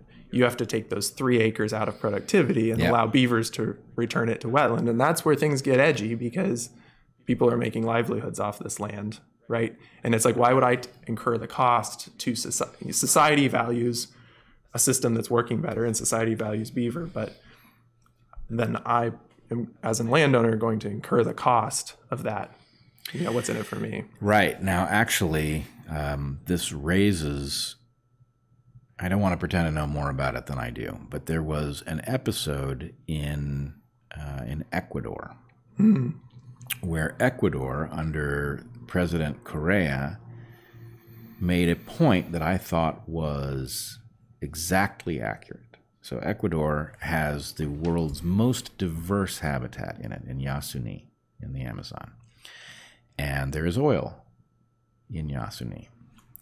And Correa basically said to the international community this is a treasure. It should not be destroyed over the temporary extraction of oil. But that is not the responsibility of the Ecuadorian people. This is a treasure of planet Earth. And what we need is the resources so that the people of Ecuador are not punished for preserving mm-hmm. this global treasure, and then we will not extract the oil. And the world stared him down. It said no. Hmm. And my sense is, game theoretically, he was perfectly right. This is exactly the problem with all of these things, right? Just because Yosemite happens to be in your backyard doesn't give you the right to destroy it, Yeah. right? Same with Yasuni, same with any of these things. Do we have the right, if we want, to screw up all of the aquifers in North America, to let all of the topsoil wash into the sea, you know, to, you know, use fossil fuels to inject the systems with, you know, non biotic nitrogen? Not really, right? Why does any generation get the right to screw up the planet and leave a lesser place for future generations? It just seems to me that we have a moral obligation. We're never going to be perfect at it. We're always going to destroy some stuff we don't mean to. But in principle, no generation has the right to leave a lesser planet to future generations. And, you know, the idea that, well, we'll think of something, sometimes you do, but then, you know, extinction is a one way process, right? We are going to lose creatures that will not, you know, future generate. You know, it's like uh, the the Tasmanian wolf. It's gone. Right? Gone. It's one example, but Yeah. um, but that was something that was part of the richness of Earth, and it's no longer. And um, in any case, I do hope that uh,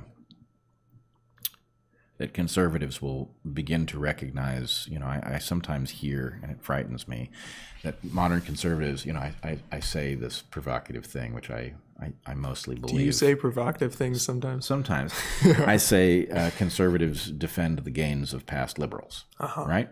Um, which is mostly true. Um, maybe it's entirely true if we think broadly enough about it. But anyway, it's somewhere in the ballpark. Uh, and the what comes back lately is, you know, progressives have done their job. It's over, right? This is now the time for us to conserve what has been achieved. And it's not like I don't know what they're talking about. I do. On the other hand, it's not achieved because you can't continue to do what we're doing indefinitely, which means that you know you've got a system which is going to destroy itself for all of its failure to pay heed to those equilibria and it is going to inherently leave a more boring, more uh, a, a, a depleted planet of fewer, worse opportunities that is just simply less pleasant to be human on. And it's, it's not our right to do it. And I think, um, I hope that conservatives will understand that there is still something that they have to partner with hard headed progressives about because we've got problems we haven't solved yet, which is how do you how do you do good governance without it becoming captured and being malignant, right? Or failing to protect the things that future generations are entitled to have. Yeah, yeah. Well, and that's where, as a progressive, um, we get a lot of ideas, and we need the conservatives to help rein us in Hundred percent. because we we like those ideas. Yeah, you don't you, don't want to unleash the, the progressives without the constraint No, of somebody saying we need the leash. you, you need somebody Something. who pays attention to the unintended consequences Yeah. of your you know your solutions because they are they're always there.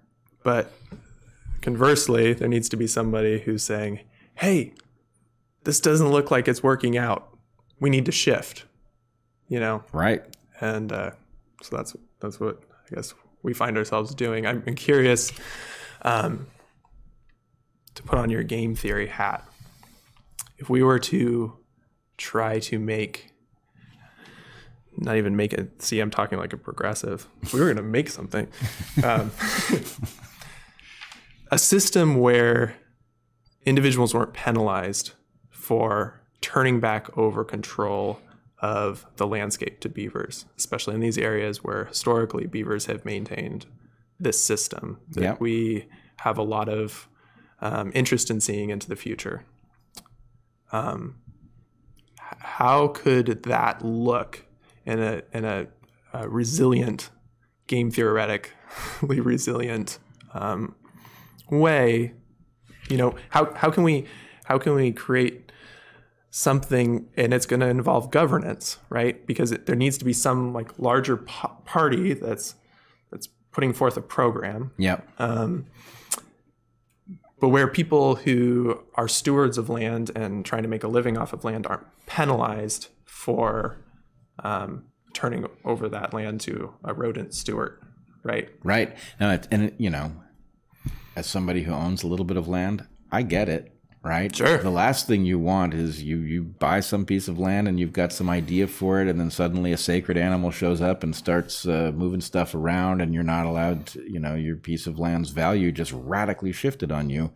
Right. And yeah and there's regulations that come in if that wetland becomes a wetland of an official sense on the county you know I mean, Right. yeah no, you're you're praying for you know not no beavers in my backyard Yeah, kind of a uh, thing. Yeah, I get it.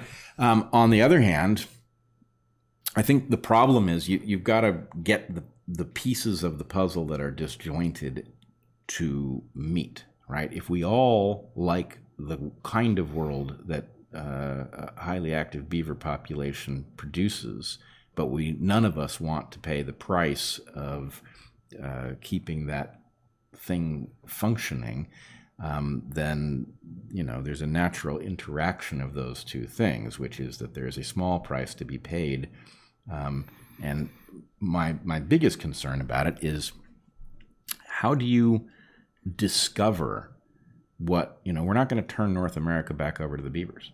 Yeah. it's not going to happen. But it doesn't mean that you couldn't figure out, well, how much, you know, where can we effectively allow this activity to um, uh, to take on its uh, its full scale, and where can't we uh, afford not to have it? I mean, one of the things we haven't even talked about yet. It's not just this water cycle, but it, it's all sorts of other things that preoccupy us, like fire. Yeah, yeah. All the all of our preoccupations, you know, fire, water security, carbon sequestration. I mean, you've got anaerobic wetlands sequestering carbon. Uh, these are all things we're spending billions of dollars on. Yep. and I spent almost a decade running a restoration program where I spent a lot of money. Um, and you know, I was I was doing these projects in the in the way that everyone's putting these projects out. You know, we're gonna we're gonna save salmon and and there's a bit of a reckoning right now because it doesn't seem to be working. Um, we're spending money, but it's not working. And then and then over you know nobody's paying attention to a little piece of land and a beaver starts doing its thing and pretty soon you have a system that I can't build with a million dollars of restoration funds Right. you know and it, it my projects don't hold a candle to that yeah, it's it's uh but they did it for free right. They did it for free because it was in their interest to just do it. yeah Um, and you know, increasingly, I mean, this is the lesson of biology, right? When when Heather and I say "Welcome to complex systems," that is us effectively needling people for failing to understand that you know the, again and again they walk into a complex system and they think they understand it and they think they're going to improve it and Mm-hmm. they you know in the end are scratching their head well that that should have worked and it's like Right. no it shouldn't have worked. You didn't understand a fraction of what you needed to understand to make this happen. You know presumably the beavers don't understand it in conscious terms either but they intuit how you interact with these systems. And um, so anyway the punchline to almost all of these puzzles is the lighter handed your intervention is the better. Right? Yeah. and you know this is a And can you successfully kick something off that's an evolved complex system where you can stand back and say, my work here is done? You know, what's the little push that gets right because in the habitat restoration world we've uh, kind of fallen into a little bit of a trap maybe set for ourselves by um, doing too much ecology where we you know measure things and we then describe an ecosystem based on what we've measured you know this many stems of this species this many stems of this species and um, a lot of the restoration world is caught up in then you know well here's what a reference site that i mean that's what the term right? A reference site looks like and so then i'm going to go build an analogous site over here. You know it might be a cattle pasture right now but i've got tonka toys that burn diesel and a big budget and um, and then what happens is we build these artifices you know we, we build what we think would look like habitat but we've we haven't keyed into beaver as a verb or whatever the underlying process is that actually resulted in that habitat. You know habitat's just the product of a bunch of process that consistently works upon a system. And so we go build something that looks like it and it looks like it for one or two years and then it starts falling apart because of entropy. Like there's nothing maintaining that right, right. Um, and that's that's a huge blind spot and the way we've been going about fixing things. Um, it's not what can we do to turn a complex evolved system on again. It's well how can we construct this idea of beautiful and healthy? Yeah, I mean, it, it, that's such a tragic, tragic story because, you know, once or twice, and then you ought to begin to realize what you're doing wrong, which is assuming that, you know, the proxies that you are using to indicate what's taking place in one of these habitats are not the sum total of the story. And the number of things that have to work together is large, and the chances that you've missed one are near certain, at least one. And the thing about, you know, whatever the beaver is, it intuits these things, right? I mean, if you compare just in your mind, you know, the um, the guy with the excavator and his intuition about exactly how, where, and in you know in what fashion to dig versus this animal with millions of years of built up experience that causes it to intuit these things there's no comparison. And you know what's more, the dude with the excavator goes home at night, right? The beaver's there, and presumably there's a feedback where the beaver understands something about what it had tried to do didn't quite work, and it needs a little. And you know, it's it's it's a.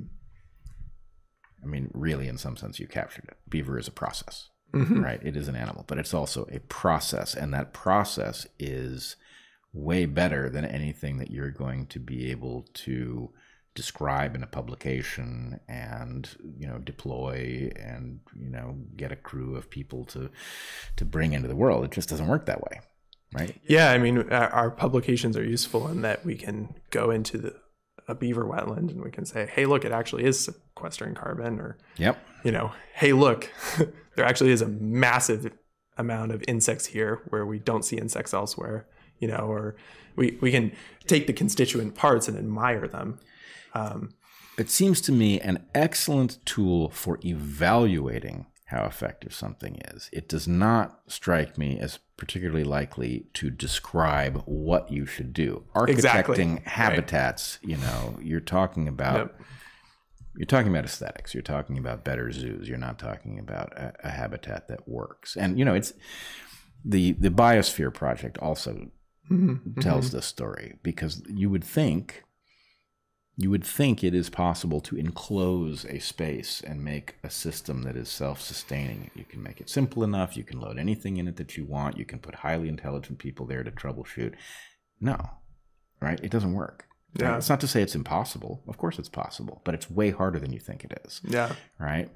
Yep. I'm reminded too of this. Uh, I think it's one of the great cautionary tales, which nobody seems to to know. But there's this animal in, in Madagascar called the Indri. You know it? No.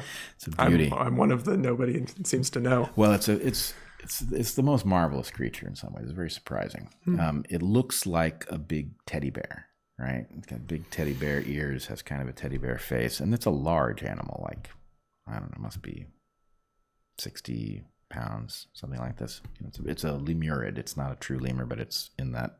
Uh, Lives in trees. yep, Yep. monogamous.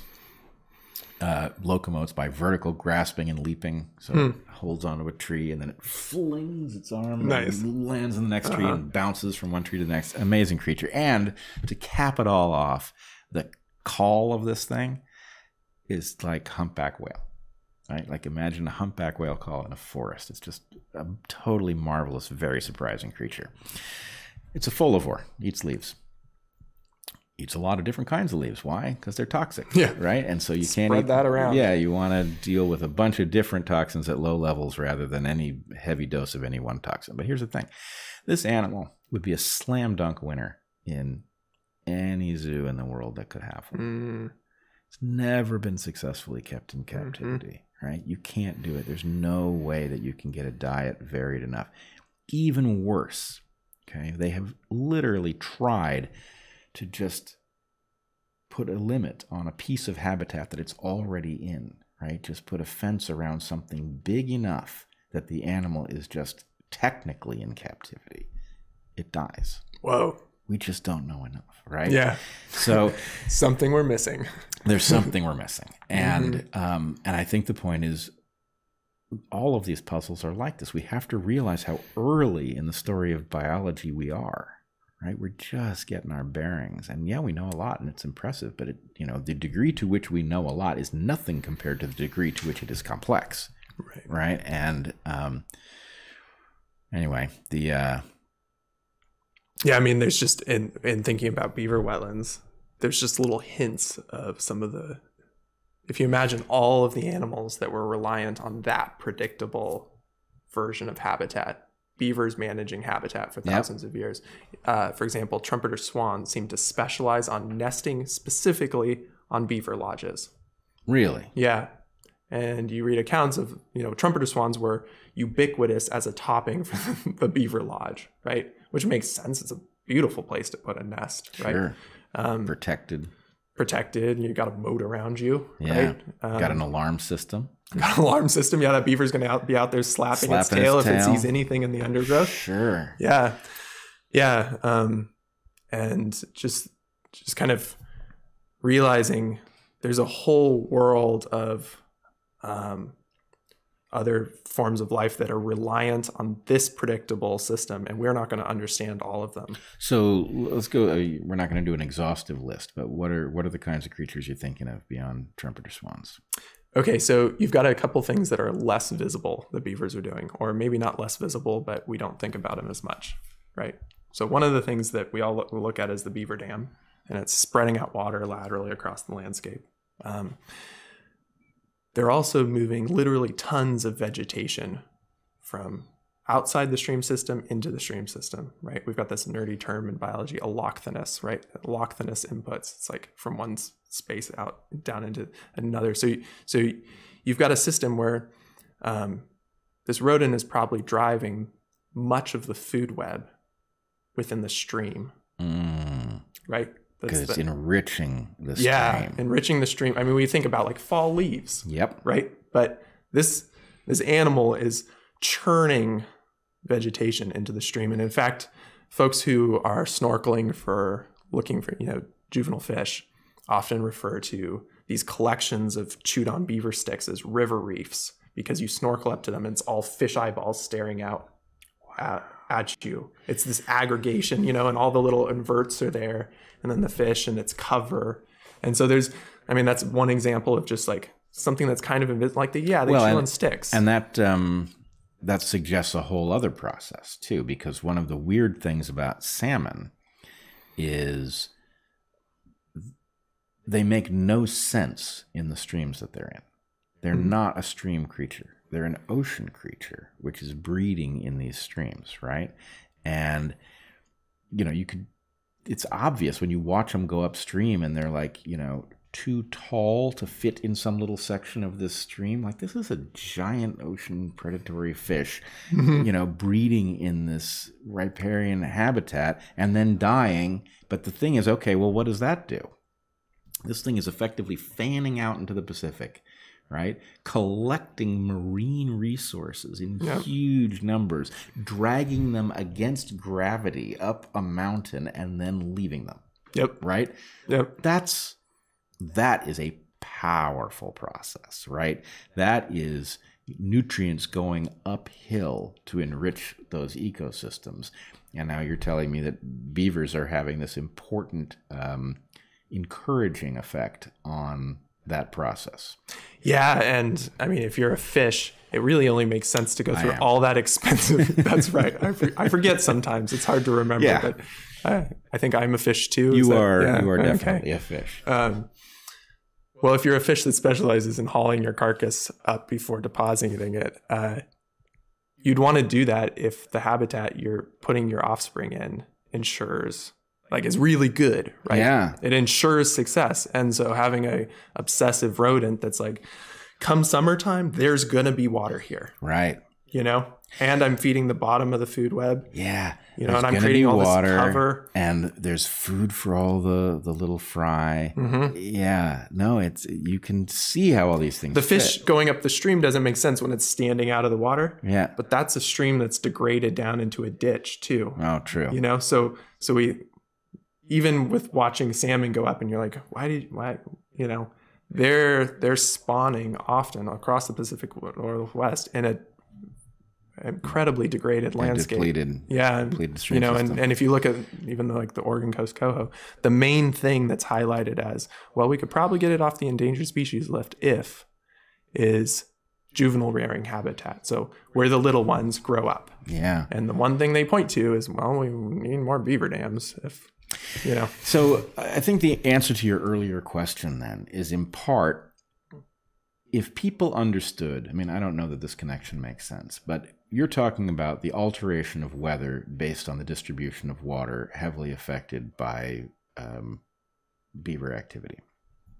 So, did the skiers know that the depth of snow and the quality of the snow that they're interacting with is affected by, you know, beavers? I don't know that it is, but probably it is, at least somewhat. Maybe it's a lot. Do you know the sport fishermen, right, who are uh, fishing for salmon out, you know, in the sea? Do they know that the, you know, that their success rate is dependent on beavers, you know, upland beavers? Probably, if they do, only, you know, Yeah, only, only a little. couple. Yeah. So the question is, do people drinking water?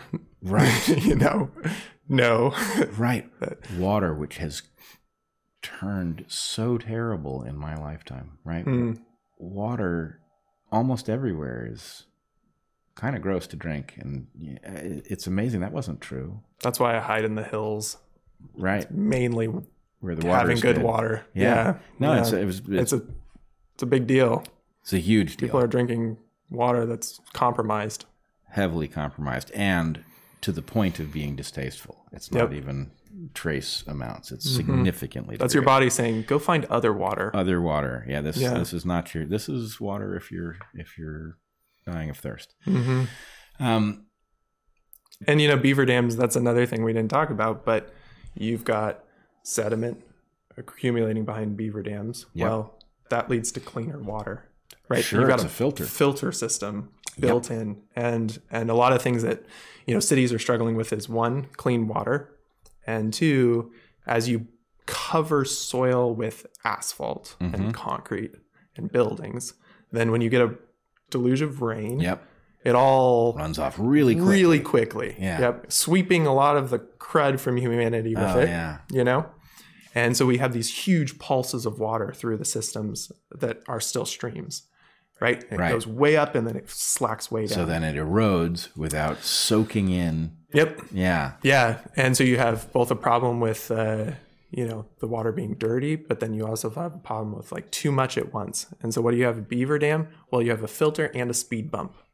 And so you've got enough of those speed bumps and you increase the residency time of the flood Yep. too, right? So these catastrophic things where then you see downstream towns getting just havoc being wreaked Yep. by these floods. Well, if you had more speed bumps higher in the system, that would be retaining some of that sediment that's moving, you know, cleaning the water up, um, but also increasing the residence time before it's just this charging torrent. Charging torrent that washes off uselessly into the sea. Yeah, Yeah. uh, washes our soil and our water.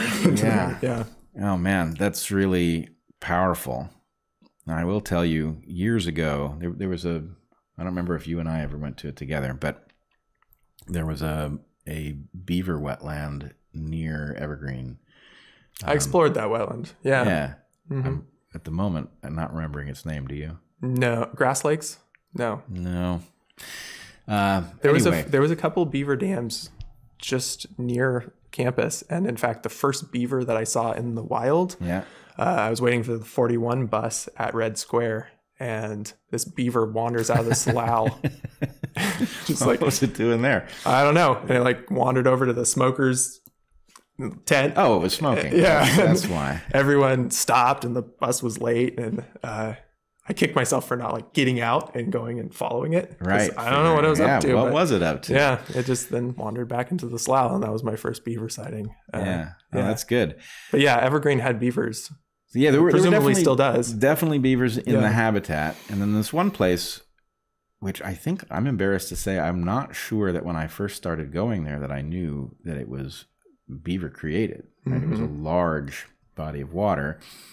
And at some point I figured out it was a, a, a beaver created body of water and I started exploring the dam and it was a huge structure. You know, I had entire classes walk out onto this thing Mm. and stand there to talk about um, beavers and their implication and you know extended phenotype and whatever else. But I remember one year, uh, I think it was particularly heavy rainfall, and the beaver dam burst. Oh, yeah. Yeah, and it was crazy. It was just the thing like emptied, and it didn't empty all the way. It emptied down to a much lower height than it had been. And then, so I, you know, of course, had the biologist's overreaction to this. That this was like the end of that habitat. Uh-huh. Yeah, not the end of that. you know, because you know, beavers. What they did was they fixed the damn thing Yep. and it filled right back up. And uh, so, what this leads me to wonder is that dam is anti fragile. Mm. It's bound, at, you know, mm. every weak spot is the place where it's going to burst. And those beavers are presumably not putting it back just the way it was, but I mean, building it in such a way that it is probably growing stronger over time. Mm. And so, Yeah, the dams that are most likely to fail are the new ones. oh, is that right? Yeah. Makes good sense. Yep. So then what you're also describing is a self-assembling, self-upgrading filter system. Mhm. Right? You're talking about a sequence of beaver habitats that are you know, dampening that pulse of water, filtering the water as it comes through, slowing it down so it's able to soak into these habitats, making them richer and wetter habitats, right? That's a process that gets better over time. And um, I mean, I guess I don't. I, I there's a part of me that doesn't want to introduce tech here at all, but Uh-huh.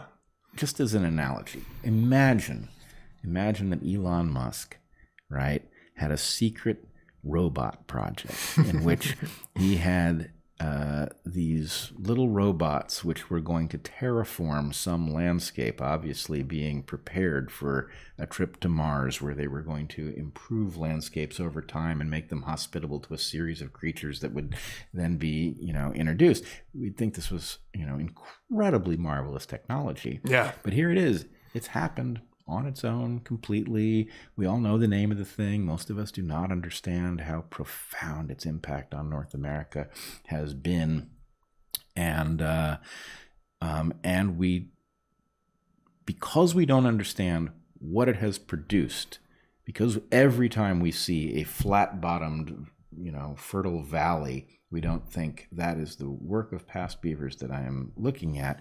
We don't really we don't know enough to lament the fact that the beavers aren't there and therefore that th- there's a, a clock ticking it's Mhm. not going to last Yeah, that fert- that fertility, right?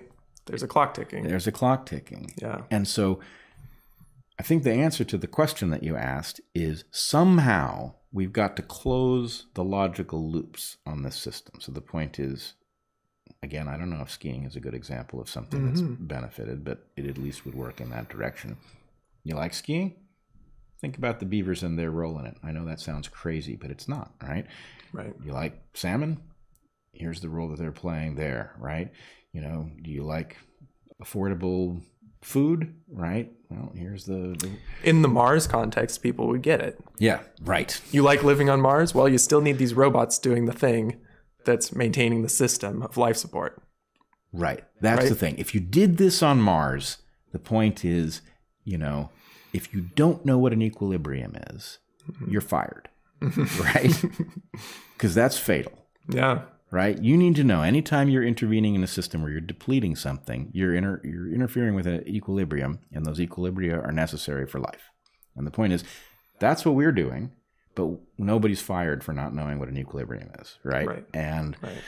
um, it is not uh, unpredictable where that ends, right? That ends with us scratching our heads at how so many things that were once grand are no longer functional, and you know, it's totally needless. Which is what we're doing already, but it's only going to get more pronounced. It's only going to get more pronounced, and you Yeah. know, you're flying over the landscape, looking at the opposite of beavers, right? Mhm. Those what do you call them? Yeah, the pivots. The pivots. Uh, My mom had a, a good analogy. She's like, uh, we were talking about it, and it's like uh, looking at mosquito welts.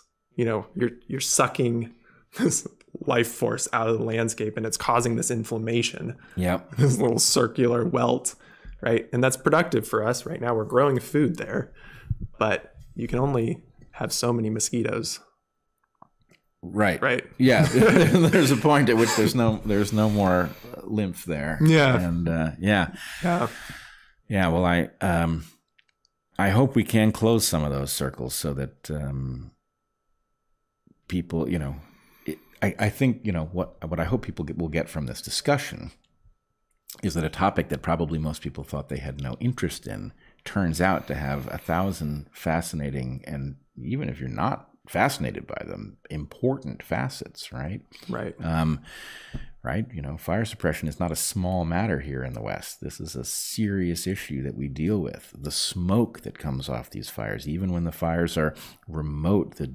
degradation in the quality of life, you know, as a result of a failure to understand equilibria with respect to um, the natural process of fire that you know removes the fuel at a particular rate where you know we had what a hundred years of fire suppression that resulted in a huge buildup of fuel so that when the fires burn they decimate the landscape right? That's a failure to understand equilibria. And what i learned from you is that actually beavers are also uh, an important factor in suppressing fire by adjusting the way water flows through these ecosystems. Um, so, you know, are, are you interested in fire suppression in the West? Well, if you live in the West, you better be, right? Because you're going to be breathing the consequences otherwise, or driven out of your home or whatever. Yep. So, anything more to say about um, beavers and, and fire? Uh, I had the experience of um, responding. So I volunteer with search and rescue, and I responded to a fire. Uh, I guess it's two years ago now that burnt two of the nearby towns down, um, more or less, uh, Phoenix and Talent. Uh, and there's a greenway that connects all of these towns in the Rogue Valley.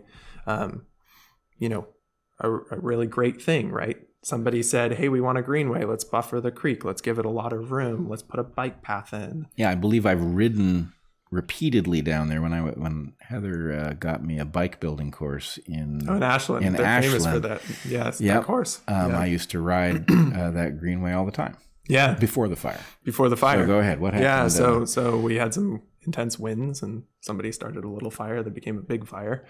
Um, that greenway, which to our human perspective looked like verdant, healthy habitat, acted like a wick, and it it drew fire through two cities. Uh, wow. You know, and we imagine fire coming in from the hills and like right. time to escape this way. But no, this was, it never even went into the hills. It drew fire through these cities because the stream had collapsed down into a ditch. The water was unavailable. It was down there, right? And people got used to that. It's like a creek, you know, it's something you look Right. down on, right? And and even in that context where we had a really wide space where people hadn't actually built close to it, the fact that the creek was collapsed meant that plants that could take advantage of this novel niche, like blackberry, had fully mm. colonized this entire riparian area. Right? If if there was water that was all over the place and it was this messy, braided, marshy thing, you know, blackberry don't do well in that. Right. And the native plants that we're lamenting the loss of would be doing excellently well because that's what they are used to. Right. But instead, instead of having a fire buffer, instead of having something that wouldn't burn, we had something that was extremely explosive uh, when it came to a, a spark. Right. It was productive with exactly the wrong stuff. Exactly the wrong stuff. Yeah, and so, um, you know, I I remember s- standing at a roadblock that I was helping to maintain at that point near the creek, and uh, you could just hear like people's propane tanks exploding, and the the valley was glowing, and you know, two towns burning down puts off a lot of light. Um, Mhm. and yeah, looking at the creek and just realizing, wow, this is what we've wrought um, by allowing these systems to collapse out, to allowing that soil to dry up, these novel niches where then we get this dense vegetation. Um, you know, it has consequences. Has huge consequences. And so the reverse is true too with with beavers and fire, where you have a system where beavers are maintaining a landscape that's wetted. You see wildlife run to that when there's a fire. A lot of folks that work cattle will see their cattle go to the beaver wetlands when there's a fire on the east side, you know, of Oregon or So there've got to be two reasons for that, I would guess. Um, one, the activity of the beaver is fire suppressive in nature. But two, the choice of beavers to to alter a particular piece of habitat may be responsive to it being resilient to fire because if you Because remember the other ecosystem engineer that's been operating the same timeline. People were make- burning. we're making making, making use of fire. fire yeah Right. So there was a boundary between the two ecosystem engineers uh, that had to be maintained. that had to be maintained and you can imagine let's say that you had a beaver that was naive about fire hmm and it was very good at engineering and it mo- modified some habitat that was particularly prone to fire then the point is well that's a short-term project too right because to the extent that the beaver is dependent on you know trees in the riparian zone uh, surviving then the point is it made an error Yeah. right? building in a place that had an Achilles heel. So anyway, yeah, you could uh, you could see both of those processes at work, and you could see augmentation, right? Whereas again, in the West, we have um, uh, a plague of eucalyptus trees, Mm, right? hmm I presume beavers do not utilize eucalyptus. I've never heard of it. Yeah. Yeah. Although they will go after incense cedar, which has a pretty pungent. Uh, it it does seem to be rare though, and they seem to mostly use it for building things with and not eating it. Yeah, building with cedar makes Yeah, sense. especially in an aquatic setting, right? Right. that too. Totally. Exactly. Well, the interesting thing is too, in the context of fire, if you have a degraded system that don't doesn't have beavers, um, maybe it's super incised, and so they can't. Every time they try to build a dam, it can't persist because the velocity is just too much. It's like a bowling alley Yeah. of water every winter, and it blows beaver dams out. Which is the case with Bear Creek, the example from my from my valley. Um, and that's usually because we've straightened it or what have you. But that would happen naturally in some systems too, if something catastrophic happened and you get this channelization. And um, well, then that's an especially fire prone situation because beavers can't Mm. maintain that. And you do get a fire that's a stand replacing fire. Well, stand replacing fires, then you have a lot of accumulated woody debris that starts crashing down in that stream. And your velocity barrier is suddenly not such a thing anymore because you've got all this roughness and tangled burned wood that starts catching the sediment that comes off the fire because you know sediment's moving once a fire fire Comes landscape through, gets yeah. la- yeah it gets rained on.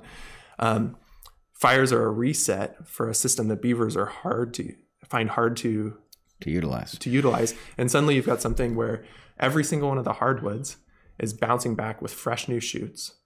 You've gotten rid of the conifer layer that you know beavers don't really find palatable anyway, and all those are racked up in the stream. And you've got a you've hit reset, and now it's ready for beavers.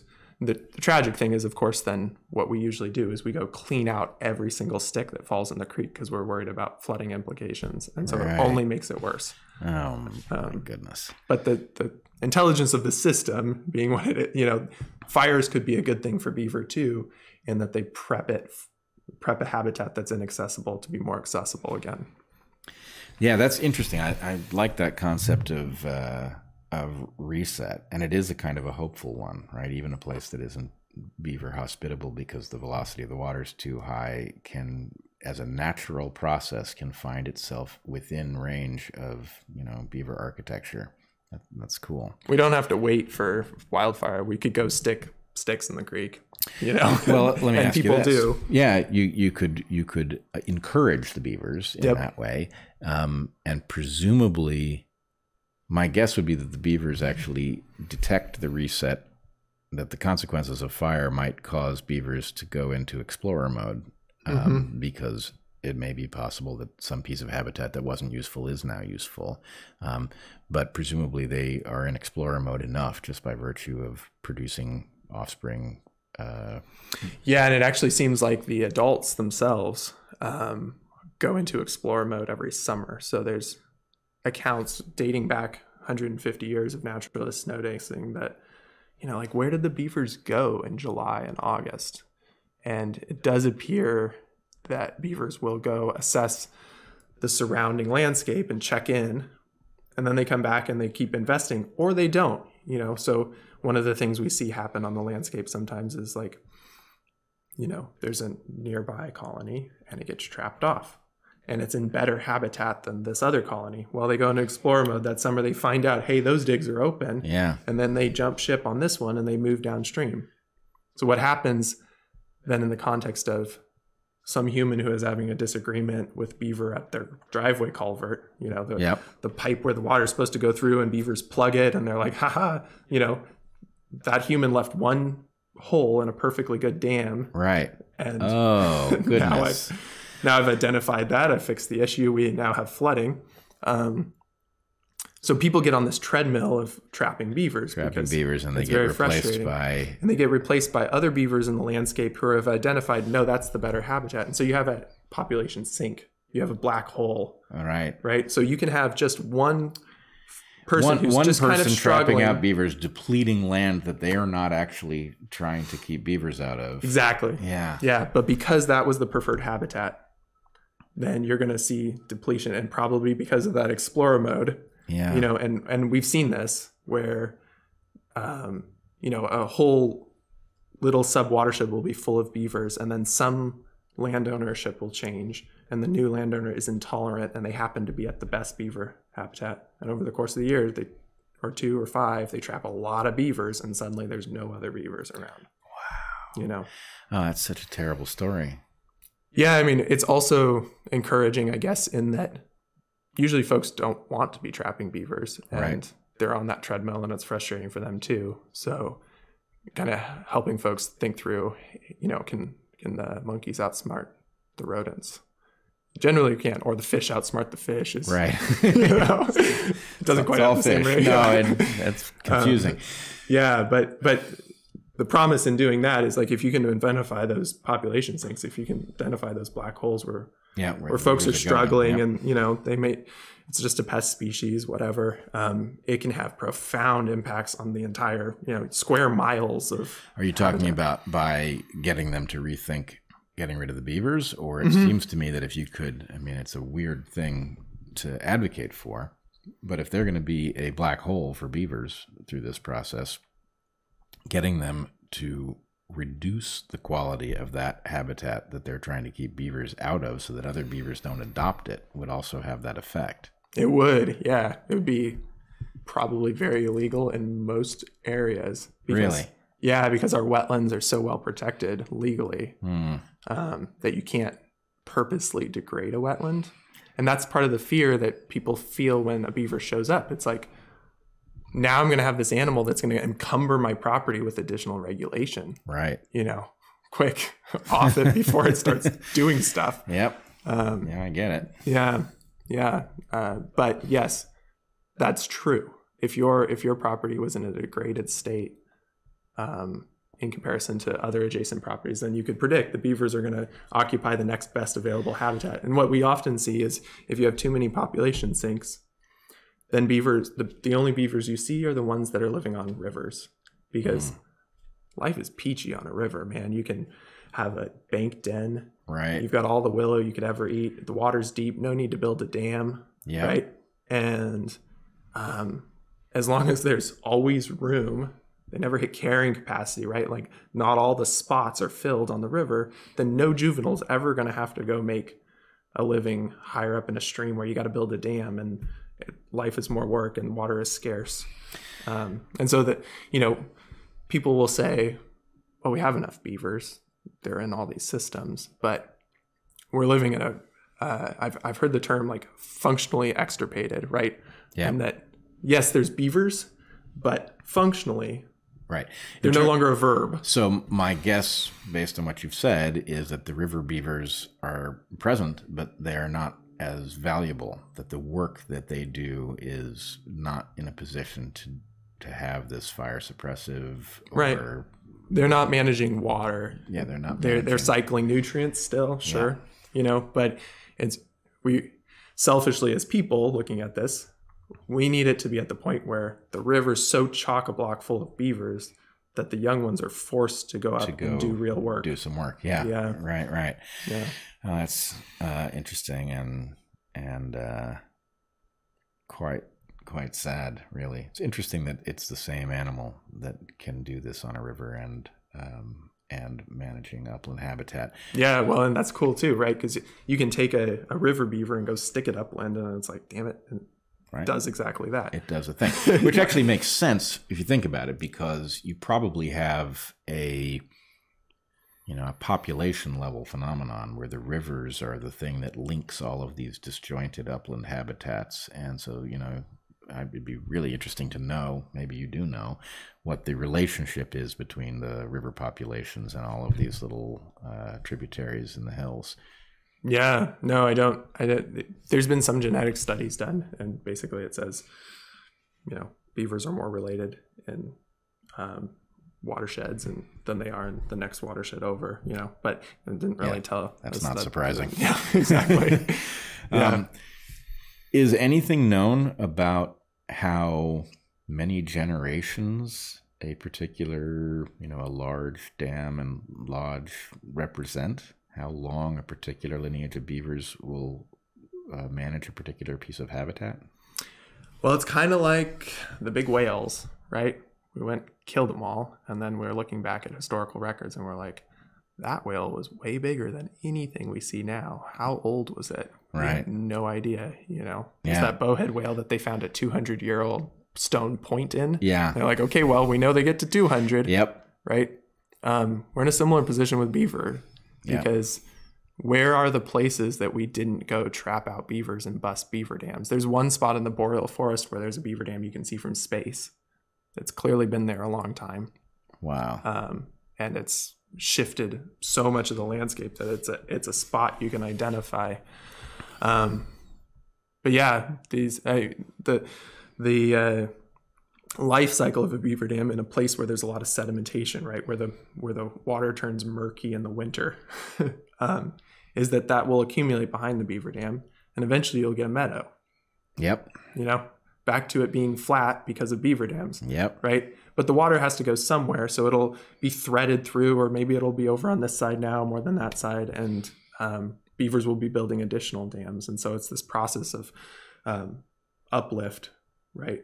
And uh, Yeah, creating land. creating land. Yeah. And so, uh, yeah, those cycles are iterative where you'll have, you know, ghosts of beaver kingdoms, you know, b- buried underneath the new meadows that have been formed more recently, right? It's, um, yeah. So, so a beaver dam that exists for a really long time, uh, as one dam, I would predict that there's not a lot of sediment coming in. I guess is, you know, where Mm, you'd have because to go otherwise it would have otherwise turned into a sediment. meadow. Yeah.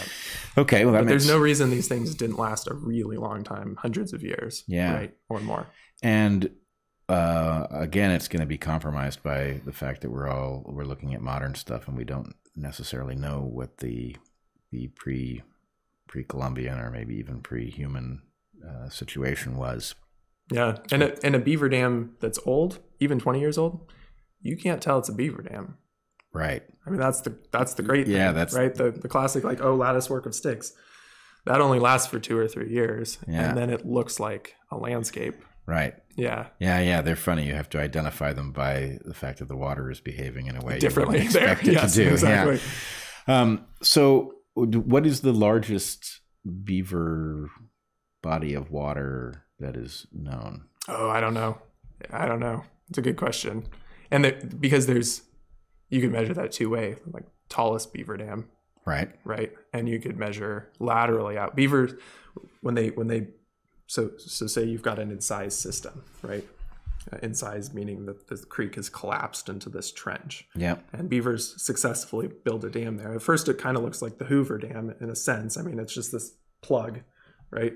Um, but then quickly, if they get out on the on the valley floor, they start chasing the water with a really usually pretty low dam mm-hmm. initially Yeah. and and they are remarkably adept at more or less tracing the topography lines. So if you look at a beaver dam from above, and then you were to overlay a topo line map Yeah. at sufficient detail, that dam, you know, every decision that they made in making that would overlay well with topography. Well, it makes sense because water is self-leveling. exactly. So all you have to do is make a decision the next inch over. Yeah. you know? right. right? And so then they'll chase that usually to the valley edges, and then those things start going up, and then some of that blows out, but then they catch it down lower, and so it's back to it being a process, right? Like yeah. the dam itself, um, very quickly, if this process is working, you can't point to and say this is the dam.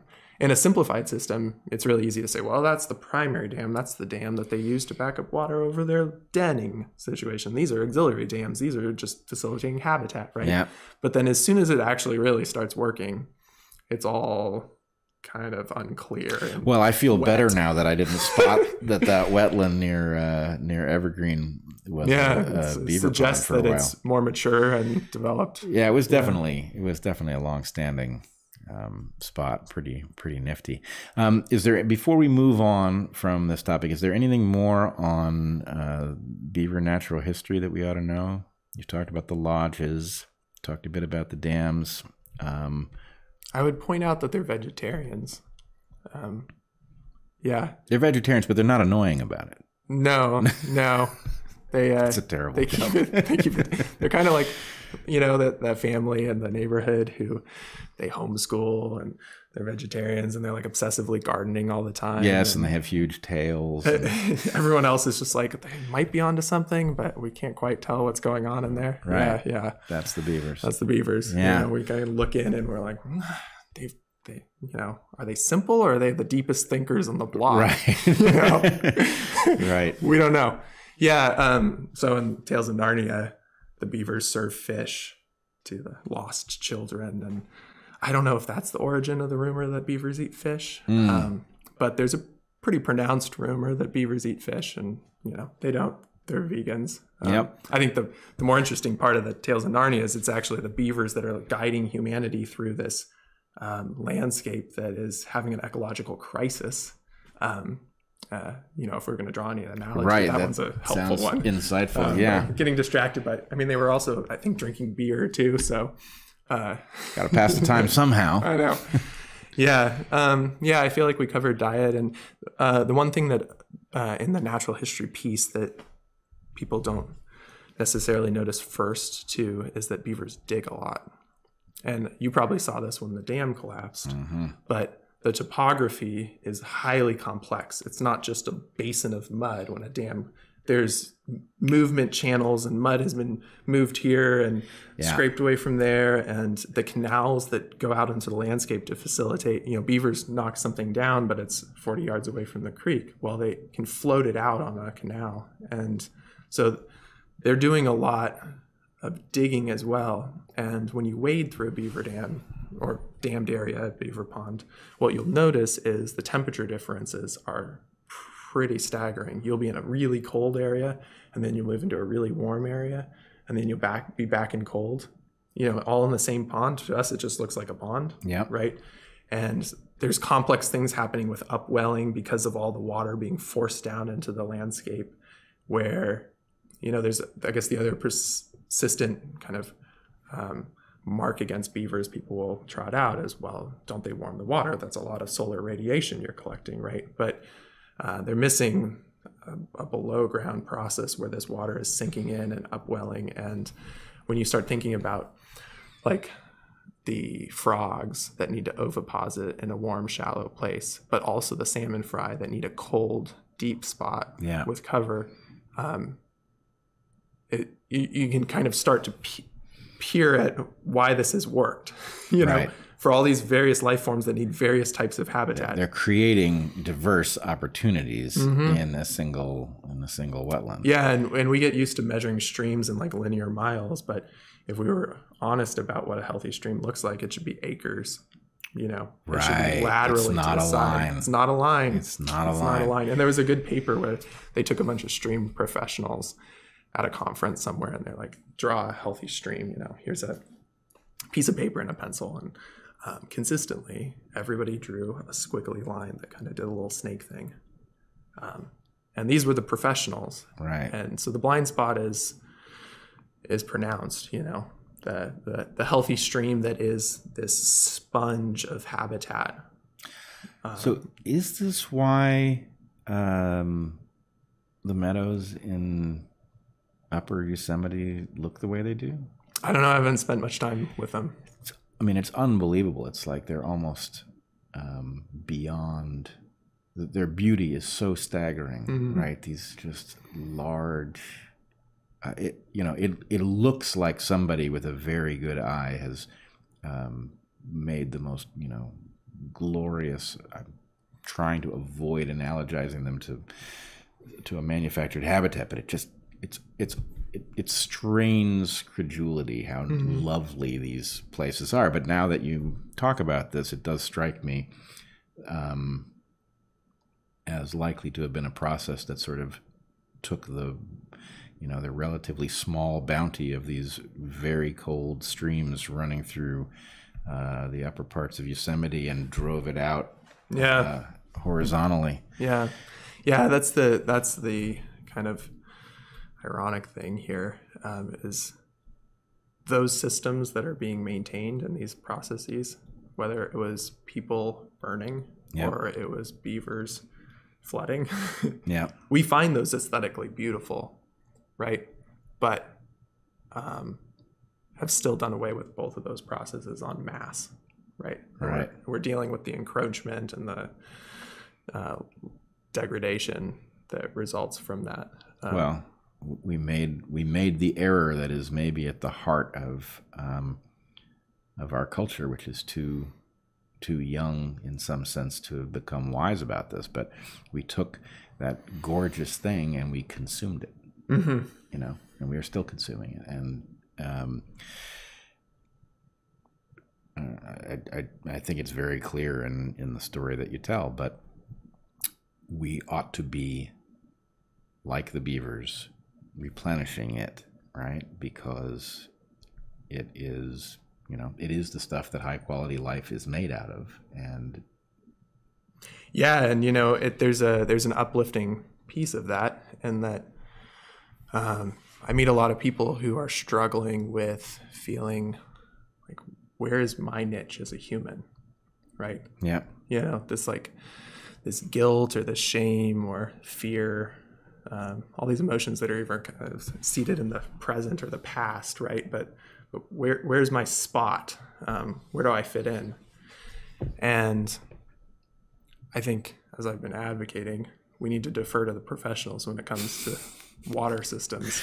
That's not our spot. yeah, Um, but people were burning the uplands and maintaining, just like beaver, predictable habitat for the rest of the, eco- the ecology for our own purposes, right? Yep. Facilitating better forage. Um, that's the spot. You know, I have, I have friends down in Yurok country who are still doing it the way that they've been doing for thousand years, years. And those folks are very generous in, in teaching other humans all right you're ready to listen now you Yeah. know all right we, let's let's talk this is how it so so we have a we have a role to play just as much as beavers you know there there there are forests that need tending yep, with flame um, and so uh, yeah i think i think there's there's two parts there it's like there is a role for us but we need to we need to be clear-eyed about which of the complex evolved systems we had a role in and it wasn't the water yeah. That's that's interesting. Um, I do think that some of the wiser conservationists that I have known have had a sense that there's a kind of fetishizing of nature that is counterproductive, and that Yeah. basically all you know, even the Amazon we now understand was much more managed than we knew. mm-hmm. Right? It's not a an untouched habitat; it's an intensively touched habitat, but we can take a lesson from that. And I think there, there are two lessons in tension. One is we should manage these things to the benefit of humanity going forward. But two, managing them means as light a touch as possible. And, you know, sometimes as light a touch as possible may not be any, you know, using fire is not all that light a touch. It should be done well, but it, it may need to be done. right light touch but consistent with what the pro- the process that's led to our current ecology right, Right. Uh, you know yes. E- if we're going to do novel things then we really need to be careful Yeah, Yeah. yeah, absolutely. And I was actually going to mention that when you were talking about uh, those two towns having burned down. That one of the things that happens when stuff burns down is it doesn't just burn down, but it liberates all the toxins that were involved in that thing. yeah. they go everywhere, right? You breathe them, they end up in the plants. They, it's terrible. yep Um, but in the case, you know, maybe fire is a place where a slightly heavier hand is necessary, but it needs to be done in a way that does not disrupt those equilibria. And with respect to water, let the experts deal with it. I like that approach. I think that, that makes good sense. it requires some humility which sometimes we as a species struggle with Yeah, I've noticed that pattern about us.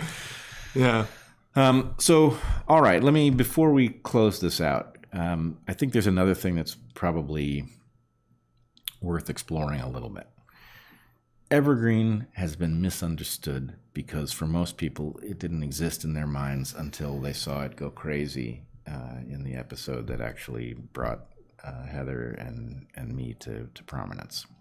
And that has always been a bit of a bitter pill for us because Evergreen was simultaneously an amazing place and um, a tragic failure to live up to its potential. And, you know, before Evergreen blew up, we were basically voices shouting into the wind about the central flaw of the place, right? We wanted to cure it, and there was no appetite for curing it. And I wanted to just say what I think it was and then talk a little bit about your experience because, frankly, I think if people got to know some of the folks who had graduated from Evergreen and gotten something out of it, they would have a very different sense that this wasn't a demonstration that a radical departure from the educational model was inherently a mistake, because it wasn't. So the flaw, as I see it, well, the beauty, I used to say Evergreen was uh, they the founders threw out absolutely everything from a normal university or college and replaced it with something else. And half of what they did was brilliant, and half of it was crazy. And Yeah. that the only problem was that we never got around to saying, all right, which which fraction doesn't work, and getting rid of that. That would have been a perfectly good process. That would be the next step in the experiment, right? Sure should have been. Yeah. So the biggest flaw that I see, or the, the biggest value, was that mm-hmm. professors were liberated to teach whatever they wanted to teach in whatever they, way they wanted to teach it, which sounds like a recipe for disaster. But the fact is, if you're interested in teaching, and the place was founded around the idea that teaching should be paramount, right? Um, but if you had an appetite to figure out what could be done that nobody had ever done before in a classroom, then you could do it. You could figure it out. And what people, viewers, most of them will not know, is that that structure involved what were called full time programs, where you, as a student, take one class full time. Professor teaches one class full time, and those programs could go on for a full year. And what that does, especially with the the low uh, professor to student ratio, was or the high professor to student ratio, the low student professor ratio. But the uh, what that does is it means that professors and students know each other very very well Right. right? Yeah. Um, and it means that the professor, if they have an appetite for it, can figure out, you know, even down to the individual mind in the classroom, what is that person hung up on, right? You know, you know what's going on, and and that process is potentially great, Yeah. right? That was the awesome part. Bad part was, And I would add to that yeah, that um, some of those full time uh, programs were taught by multiple professors from Uh-huh. across discipline. So, in just painting the pish- picture, that was that was part of it too, yep, right? it could it would, be it would sometimes be a team of two or three professors that are ushering the same group of students through a program for a year. Yep. team teaching, and um, those programs were often students didn't know this, but those programs were just inventions, right? One professor professor sits down next to another professor someday, and they have a conversation in which they're each focused on their own thing, and it's like, well, actually, this conversation's pretty good. I wonder if we could build a program around that. Yeah, yeah, Um, the bad part, though, is you get hired at Evergreen. It's not obvious that just because you got a PhD somewhere in some subject that you're going to be any good at all at figuring out how to teach if you're completely free, right. right? Lots of people aren't. And so what I would have done if I had had the ability to to fix it is after you're hired, there's a period of three years, maybe, maybe it would be five years, in which you have to demonstrate that you can figure out what to do with all that freedom. And if at the end of that period you're doing a great job and students are feeling really, you know, energized by what you're doing, right? You stay. And if you can't figure it out in that period of time, doesn't matter how much we like you, you should go, right? Because that spot that you're in, that is a, you know, Evergreen, the faculty used to say, it didn't pay in money, it paid in freedom. Hmm. Right? Those were glorious positions, not because of what they paid, but basically because if you were if you had a taste for the work, right? It was rewarding. You knew what you, you knew why you were there every day, right? Yeah, Um, and so, by not having that process in which we selected for people who actually were good at figuring out what to do with freedom, it resulted in basically there were some professors who were great, and there were some professors who basically used it as an excuse not to work, right? So, anyway, for somebody who clearly got a lot out of the thing, um, I'd be interested to know what you know what's your overarching. You you were how many classes with Heather and me did you take? just the one. just the one. Yeah, yeah, animal behavior and zoology. Animal behavior and zoology. Yep. Yeah. You were co-teaching it together, yeah. which I know you didn't always teach as a team, but that that year you were teaching as a team. Yeah, we taught as a team that year, which we did a number of times, um, and then we also had the experience of teaching separately. And uh, there was a group of students who would bounce from one of our programs to the other. Right, there was Yeah. like a large group of students who were who had become interested in evolution as a result of the fact that there were two of us you know, teaching related topics, and we had very different styles. And um, anyway, that seemed to work for a lot of people, even to the point that um, many students uh, would continue to show up for class even after they were no longer registered with one of us, even sometimes after they graduated, because they got so used to the idea that there was a community of people who spoke the same language that um, they would. I think I did that one year. I came through Olympia and I found out you were teaching in a lecture hall, and I sat in on a lecture on gay dinosaurs. Gay dinosaurs, yes.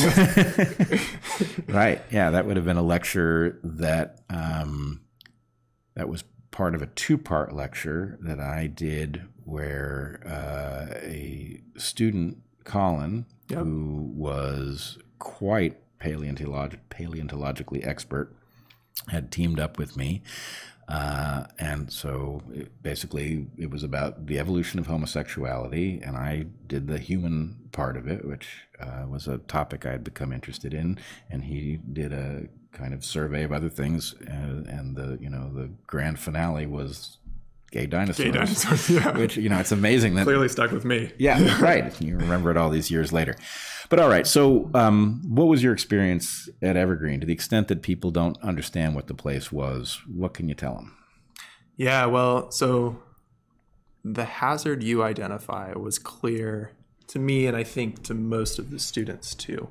You know, you'd have this this thing called the academic fair where all the professors are sitting at individual tables and you as a student have the opportunity to decide where am i going to commit an entire year of my education. Yep. And that's risky business in that um, if you hit a stinker big waste. it's a big waste. And so that's was both the um, the strength and the weakness of this uh, back to your get rid of the folks who don't know what to do with this. Um, I was in a navigate trying to navigate a landscape where there were folks who knew what to do with it and folks who didn't. And as a student, you're coming into it and you're trying to assess. Um, and and often the folks who did know what to do with it, their classes were waitlisted. There was a vicious process of trying to get in. I mean, I know with you and Heather, you always had wait lists. People were trying to get in. People were writing you love letters. You know, so many. please, please, please. Right. Um, but once you were once you were in that cohort um, and you were invested for a year, I mean, you could do fantastic stuff. You could go take the entire cohort out of state for months on end. Yeah. Because why? Why they have don't have anything. They don't have anything else they're committed to doing. They don't have anything else they're committed to doing. Yeah, and like if you don't need the lab, then right. Why? You know. Um, so, I thought that was I, I loved Evergreen. I came to it with someone who, as someone too, who had a severe tracking difficulty, um, which you know I eventually worked on. But like if I'm reading music or whatever at the time, I go one, two, five, oh, back here, you know, hmm. which made it difficult. Yeah, yeah. Um, Evergreen was a place where those of us who had those sorts of, um, you know, different different ways learning learning disabilities right or whatever you want um, it, it, you could just kind of sweep it aside because it was a very different model. It was like well where are you at on the content you know? Yep. and there's many ways to approach understanding the content. Um, i remember uh, so after your class i went to a class that was kind of pre med school. You know we got really deep in all the pre med school subjects and um, it was kind of stressful because uh, it was like, you know, oh, are you going to be a doctor or not? Even at Evergreen, they still somehow cultivated that vibe. Um, so I would get stressed out and take my fiddle down to a local pub every Wednesday night and play Irish tunes with folks. There was like a bottomless pitcher of dark ale and light ale for anyone who came in and could halfway play an instrument. Um, that was my little stress release. I was talking to an old guy there at the pub, and he's uh, told him I was an Evergreen student. He's like, "Well, yep, Evergreen. That's a that's a school of deep divers and floaters."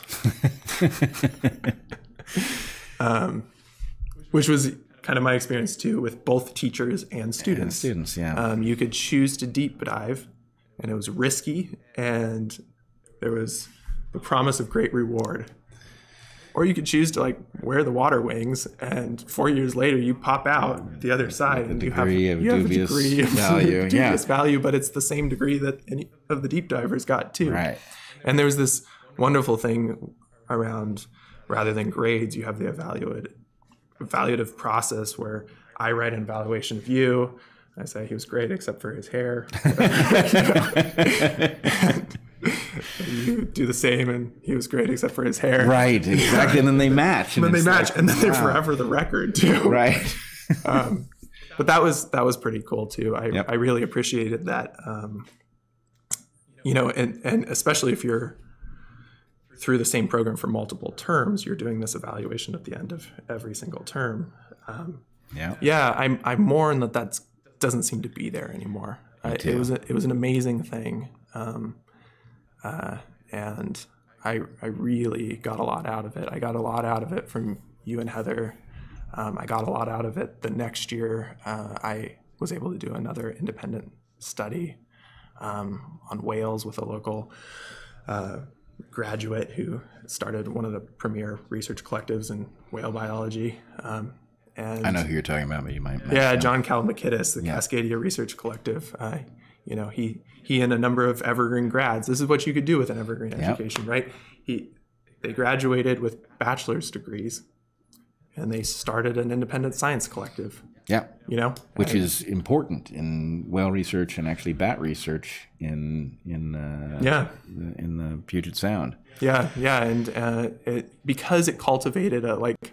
I don't actually have to ask permission to do this. Right. You and that's the thing is because of the freedom, right? If you couldn't figure out what to do with it as a student, then maybe you didn't get anything out of the process. But if you did, you know, get your bearings, then the point is you came out of it with something that was a lot closer to what graduate school would give you, where you knew how to get stuff done. You didn't need somebody to tell you to do it. Well, and I'll admit, I uh, when I was in your class, um, I pretended to be a grad student many times. Um, probably, uh, mostly so. So we were in Olympia for two terms, and then I went to Panama. Um, and uh, that's an example of what you can do, right? I uh, proposed a research project out on this island, 14 kilometers out into the Caribbean. Yep. Uh, I said I want to work on the pygmy three-toed sloth, and Heather was my advisor. She said okay, um, and uh, you know we ended up I um, persuaded a few more students to come with me on this crazy adventure, and we ended up uh, doing the first population census of a critically endangered species. You know, got the thing published, all of that. Um, and I didn't even think about like, oh, you're not supposed to do that as an undergrad, Yeah. except for when I would try to access like the resources at the Smithsonian Institute in Panama. Um, in which case, they would let me in if I pretended to be a grad student. Um, but undergrads, you know, it was a Yeah. tour experience. that it's it's funny. I don't know uh, you. I don't know that we ever talked about this, um, or if we did, whether you'll remember it. But I think the reason that you ended up on pygmy sloths actually had to do with. Um, am I correct that the description of the pygmy sloth was a Charles Handley paper? It was Charles Handley, but that wasn't actually the connection. Oh, it wasn't. Yeah, I was I was interested in Antillean manatees, so I started calling all the researchers down there on manatees, and I was like, "All right, how do I get? It? What are the questions? What is what are people puzzling on?" And uh, I ran into this one guy who said, "Well, you know, manatees might be hard to tap in with, but there's the sloth There's the sloth on this on island." this- And then yes, the descriptive paper. Charles Handley, Yep. who was one of my mentors on bats, Mm-hmm. actually on Barro, Colorado Island in Panama.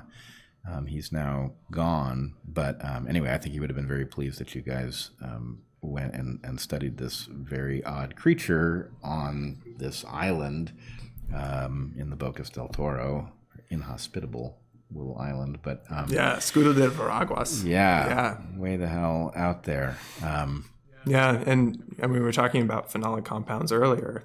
The the pygmy sloth is a funny puzzle because they seem to specialize on only mangrove leaves, yeah, and you don't see that as we were talking about with grazers and browsers, browsers rather, because they're trying to distribute the toxins uh, Right. amongst many different types. Um, but yeah, Yeah, it's an interesting puzzle and interesting that you were able, you know, yeah, as an undergraduate, you were able to, you know, not only manage a, an actual research project that was able to get to the point of a, you know, a useful and publishable um, paper, but to do so under really inhospitable conditions, right? That's an amazing accomplishment. yeah, three months in a pretty remote place. Yeah, pretty remote.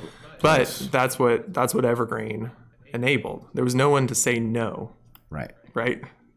You had you had a guiding mentor in your faculty, and as long as you could convince them that, you know, there was there was some hope that you would come through it with something that uh, is worth the education. Yep. Um, yeah, and I and I learned a lot from that experience.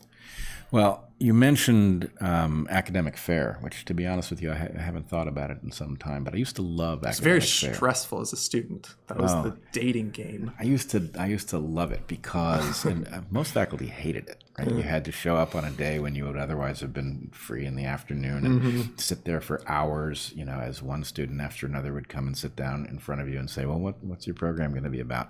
Um, but for me, it was an opportunity to. This is going to sound terrible, but um, because our classes were for both Heather and me, our classes were always oversubscribed. And that meant that there was actually something to be accomplished in figuring out what students would be best if they got in there, what Yeah. students had the most to gain from it, and what students brought something to the table that would make the programs lively. And so, um, you know, I wouldn't just deliver the same, you know, well, what's your program going to be about? Well, we're going to study this, that, and the other, right?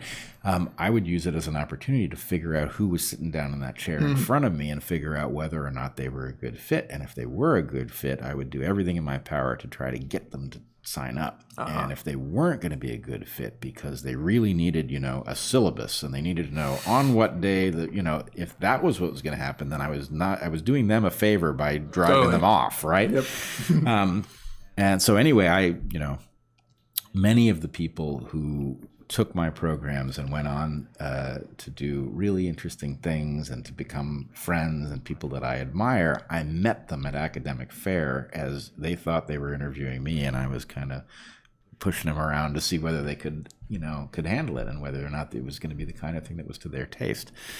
So anyway, I have, I have many fond memories of that. Um, Yeah, I remember I had to write a essay on trade-offs in order to get into your class. Oh, were you? Um, you must have been. You weren't. Uh, you didn't get in on the normal. I was I was late to um, uh, signing up, right, and I didn't attend academic fair. right. Oh, yep. And so then I was assigned an essay. And sign an essay, right? Um, yeah, that's cool. Yeah. So I mean, I don't I don't. My hope is that by the time my three little ones are at the age where they're looking for a mentor of that caliber, there's a place where mentors have that freedom. Um, I don't know where that is right now, but It's nowhere right now. yeah, Um, I, I hope it happens too. I, of course, have uh, one kid right at that age and one kid a couple of years out. And um, the fact that there's nowhere obvious to send them is so disturbing. And, you know, it is. It is evidence of exactly the same kind of short sightedness as we were discussing with respect to the destruction of all of the things that the beavers had built into our landscapes because we are effectively sowing the seeds of our undoing by allowing education to be captured by um, ideological agendas and uh, just lunacy, right? I mean, how crazy is it that a place, you know, that produced really great students who were capable of, you know, I mean, look, you founded an organization. Um, you are now uh, returning to your former professor and teaching him about, uh, you know, important features of the life of a mammal, even though he's a mammalogist right? So anyway, that kind of um, liberating encounter with education is tremendously important. There is, you know, people totally misunderstand. You know, Evergreen is a public college. right, yeah. Why? Which was one of the reasons I could attend. I was on Pell Grant and food stamps, you know, and It wasn't a place for rich kids. It's Yeah. not that there weren't a few there, there were. for sure. but it was a place it was inexpensive to afford you could Yep. if, if you you know if you had a learning disability it wasn't the end of the world because There was 1,100 acres of forest. I came back from Panama. I was like, I'm not going to do a renting a lease thing. And I lived in the forest for the rest of the term. did you oh you i didn't realize you were I was one of those students. Yeah. Uh, maintained three different lockers and showered in the gym. yeah it, this is one of these things that happens at evergreen Mm-hmm. it, it was it was a truly special place and you know it's it's very upsetting to me that its um, legacy is that the lunacy staged a coup, which it did, but that was not the sum total of the story of the place. And for those wishing to build, you know, higher ed 2.0, understanding what Evergreen had right would be crucial Yeah. right? If you could take the part that Evergreen had right and prune off the part that didn't work, right? Then you've got the seed of something really powerful, and you know you're you're a testament to that. And I uh, I greatly appreciate what you did with the the freedom that you had uh, as a result of going there.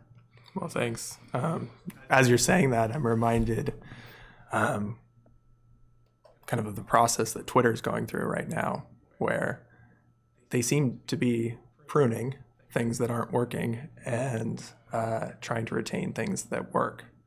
Um, which, yeah, it's kind of a non sequitur, but it, it, I know that you spend a bit of time there, and so, and I don't. So I'd be kind of interested on your thoughts here. But my experience with that platform and as a public square, um, I was a little leery of the app. So I had a browser open on my phone, and I had um, multiple tabs.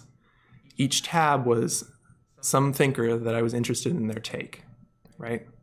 Because the way Twitter was working, you couldn't actually, you know, you're following 100 people, you couldn't say these 12 people, I want to check in with what they said, right? But I did that by a bunch of tabs, and that was my that was my news filter for a long time um, until Twitter did away with the ability to open it on a browser in the way I was doing. But the the ability to check in on a daily basis and say, okay, what's Bret saying? What's his brother saying? And then go down the list um, was a powerful news filter. As I was struggling to understand the world and feeling like I'm being sold a, a bill of goods everywhere I turn, um, the one spot that I was able to find um, uh, a place where I could I could get kind of a, a, a thinking person's perspective, but then across various political spec- spectrum, you know, 20 minutes later, I knew what all these various minds were thinking about whatever the issue that had come up was. Um, I thought that that was a really powerful piece that I think is very promising, and that you know, I'm, I'm curious, like, Well- as one of those people, you know, it, this is a very dangerous moment, and Mm-hmm. I did not even think to do what you're discussing doing. It strikes me as you know it's tragic that you have to, right? What Uh-huh. you want is one or a couple of sources of news where they have effectively done that and they have figured out what the various perspectives are and they present it in some way that doesn't require you to kludge together a solution like that. However, that's not the world we live in. So I know when some story is happening, I am constantly in the the bind that I then think, all right, which news outlet is liable to be able to report that story straight? I want to know what's going on. There's no news outlet that is capable of reporting all stories as straight as they can get them. They all have a bent. And so the point is on that story, right? Is that a story that the New York Times can afford to report, or is that a story that they will be telling me complete nonsense? And so you're you're describing a solution to that problem built of individuals. Right. Here's some individuals who, um, you know, have a track record. I'm not going to listen to any of them in individually. Exactly. to- The power is in the aggregate, and Yeah. then broadly spreading out who you're listening to. So what I would say is I am very hopeful about what Musk seems to be up to, and I'm very nervous about it. Because a lot depends on him getting it right. And I guess I hope that he will hear what you were doing and hear that it is no longer possible because the app effectively forbids it. So uh, driving people to the app is so much a part Right. of Twitter's Yeah, business yeah. model. If I open it on the browser, it says, "Well, we've got an app." You know, you should use the app. Right. so the question is look, there's no reason, as far as I can tell, that the app, since Musk does appear to be interested in people using this as a source of news, which sounds crazy, but in this era, I think it's actually the best hope we've got. Um, there's no reason that that couldn't be done in the app. What you need is control. And in fact, many of us have been in a sort of private conversation about what might be done to make uh, an environment that didn't drive us crazy. And one of the things that might be done is the ability to peer through anybody's eyes at the thing. right? Part of the problem with something like Twitter is that I know what it shows me. Right. But I have to bend over backwards to figure out how well that matches what it shows somebody else. And I certainly can't see, you know, I, I don't have a set of controls that allow me to go in and say, you know, Toggle. right, Yeah. let, let me see this through the eyes of an NPR listener, right? Yeah. I'd love to know, right? But I, I can't do it. I'm too trapped in my own uh, my own bubble. Um, so anyway, the idea of you were kludging something together, it's clear that there's such a value. It's clear that Musk wants people to be using it this way, and there's now a structural obstacle to doing it. Maybe that results in him thinking, huh, how can we build that into the app so that instead of, um, you know, being uh, short-sighted and, you know, milking people's attention, we can be far-sighted and we can give them the opportunity to do something that is so valuable from the point of view of building their perspective on the world that that will keep them around long term even if they look at it for fewer hours right? Yeah, exactly. Because you were doing work for me, right? If I tune in to, to 12 perspectives, I don't know how many hours you spent. too many Too many. But I am I am a parasitic uh, recipient, benefiter from the amount of hours you spent coming up with your and I, I read it in 30 seconds and then I'm moving on to the next person and the next person. And that is a powerful that's a powerful tool. Yep. Yeah. Now you say I know you're joking when you say parasitic. I have to tell you though that it is exactly the opposite of the right thing because um, in my case, I confess I would be better off if I wasn't on Twitter, but I can't not be. And the reason that I am there is because it is necessary to do the kind of sense making that I do, and it is necessary um, to provide something useful to other people, right? If people are going to listen to what I have to say, then it ought to be informed. And there isn't a good place to go get informed that doesn't look like a kludge. So I use it as a tool. Um, I'd love a better tool. And I'd love for people like you who are using it as a tool um, to be able to do it deliberately, right? Right. Just set in Yep. motion. Here, here are the perspectives I would like to be able to scan between. So I, I want a tool, not an experience. yeah, Right? right. Yeah. Yeah, and actually, this uh, this goes to one of my I won't call it a pet peeve, but one of my concerns is that too many phenomena that where we interact with something have been turned into consumer phenomena.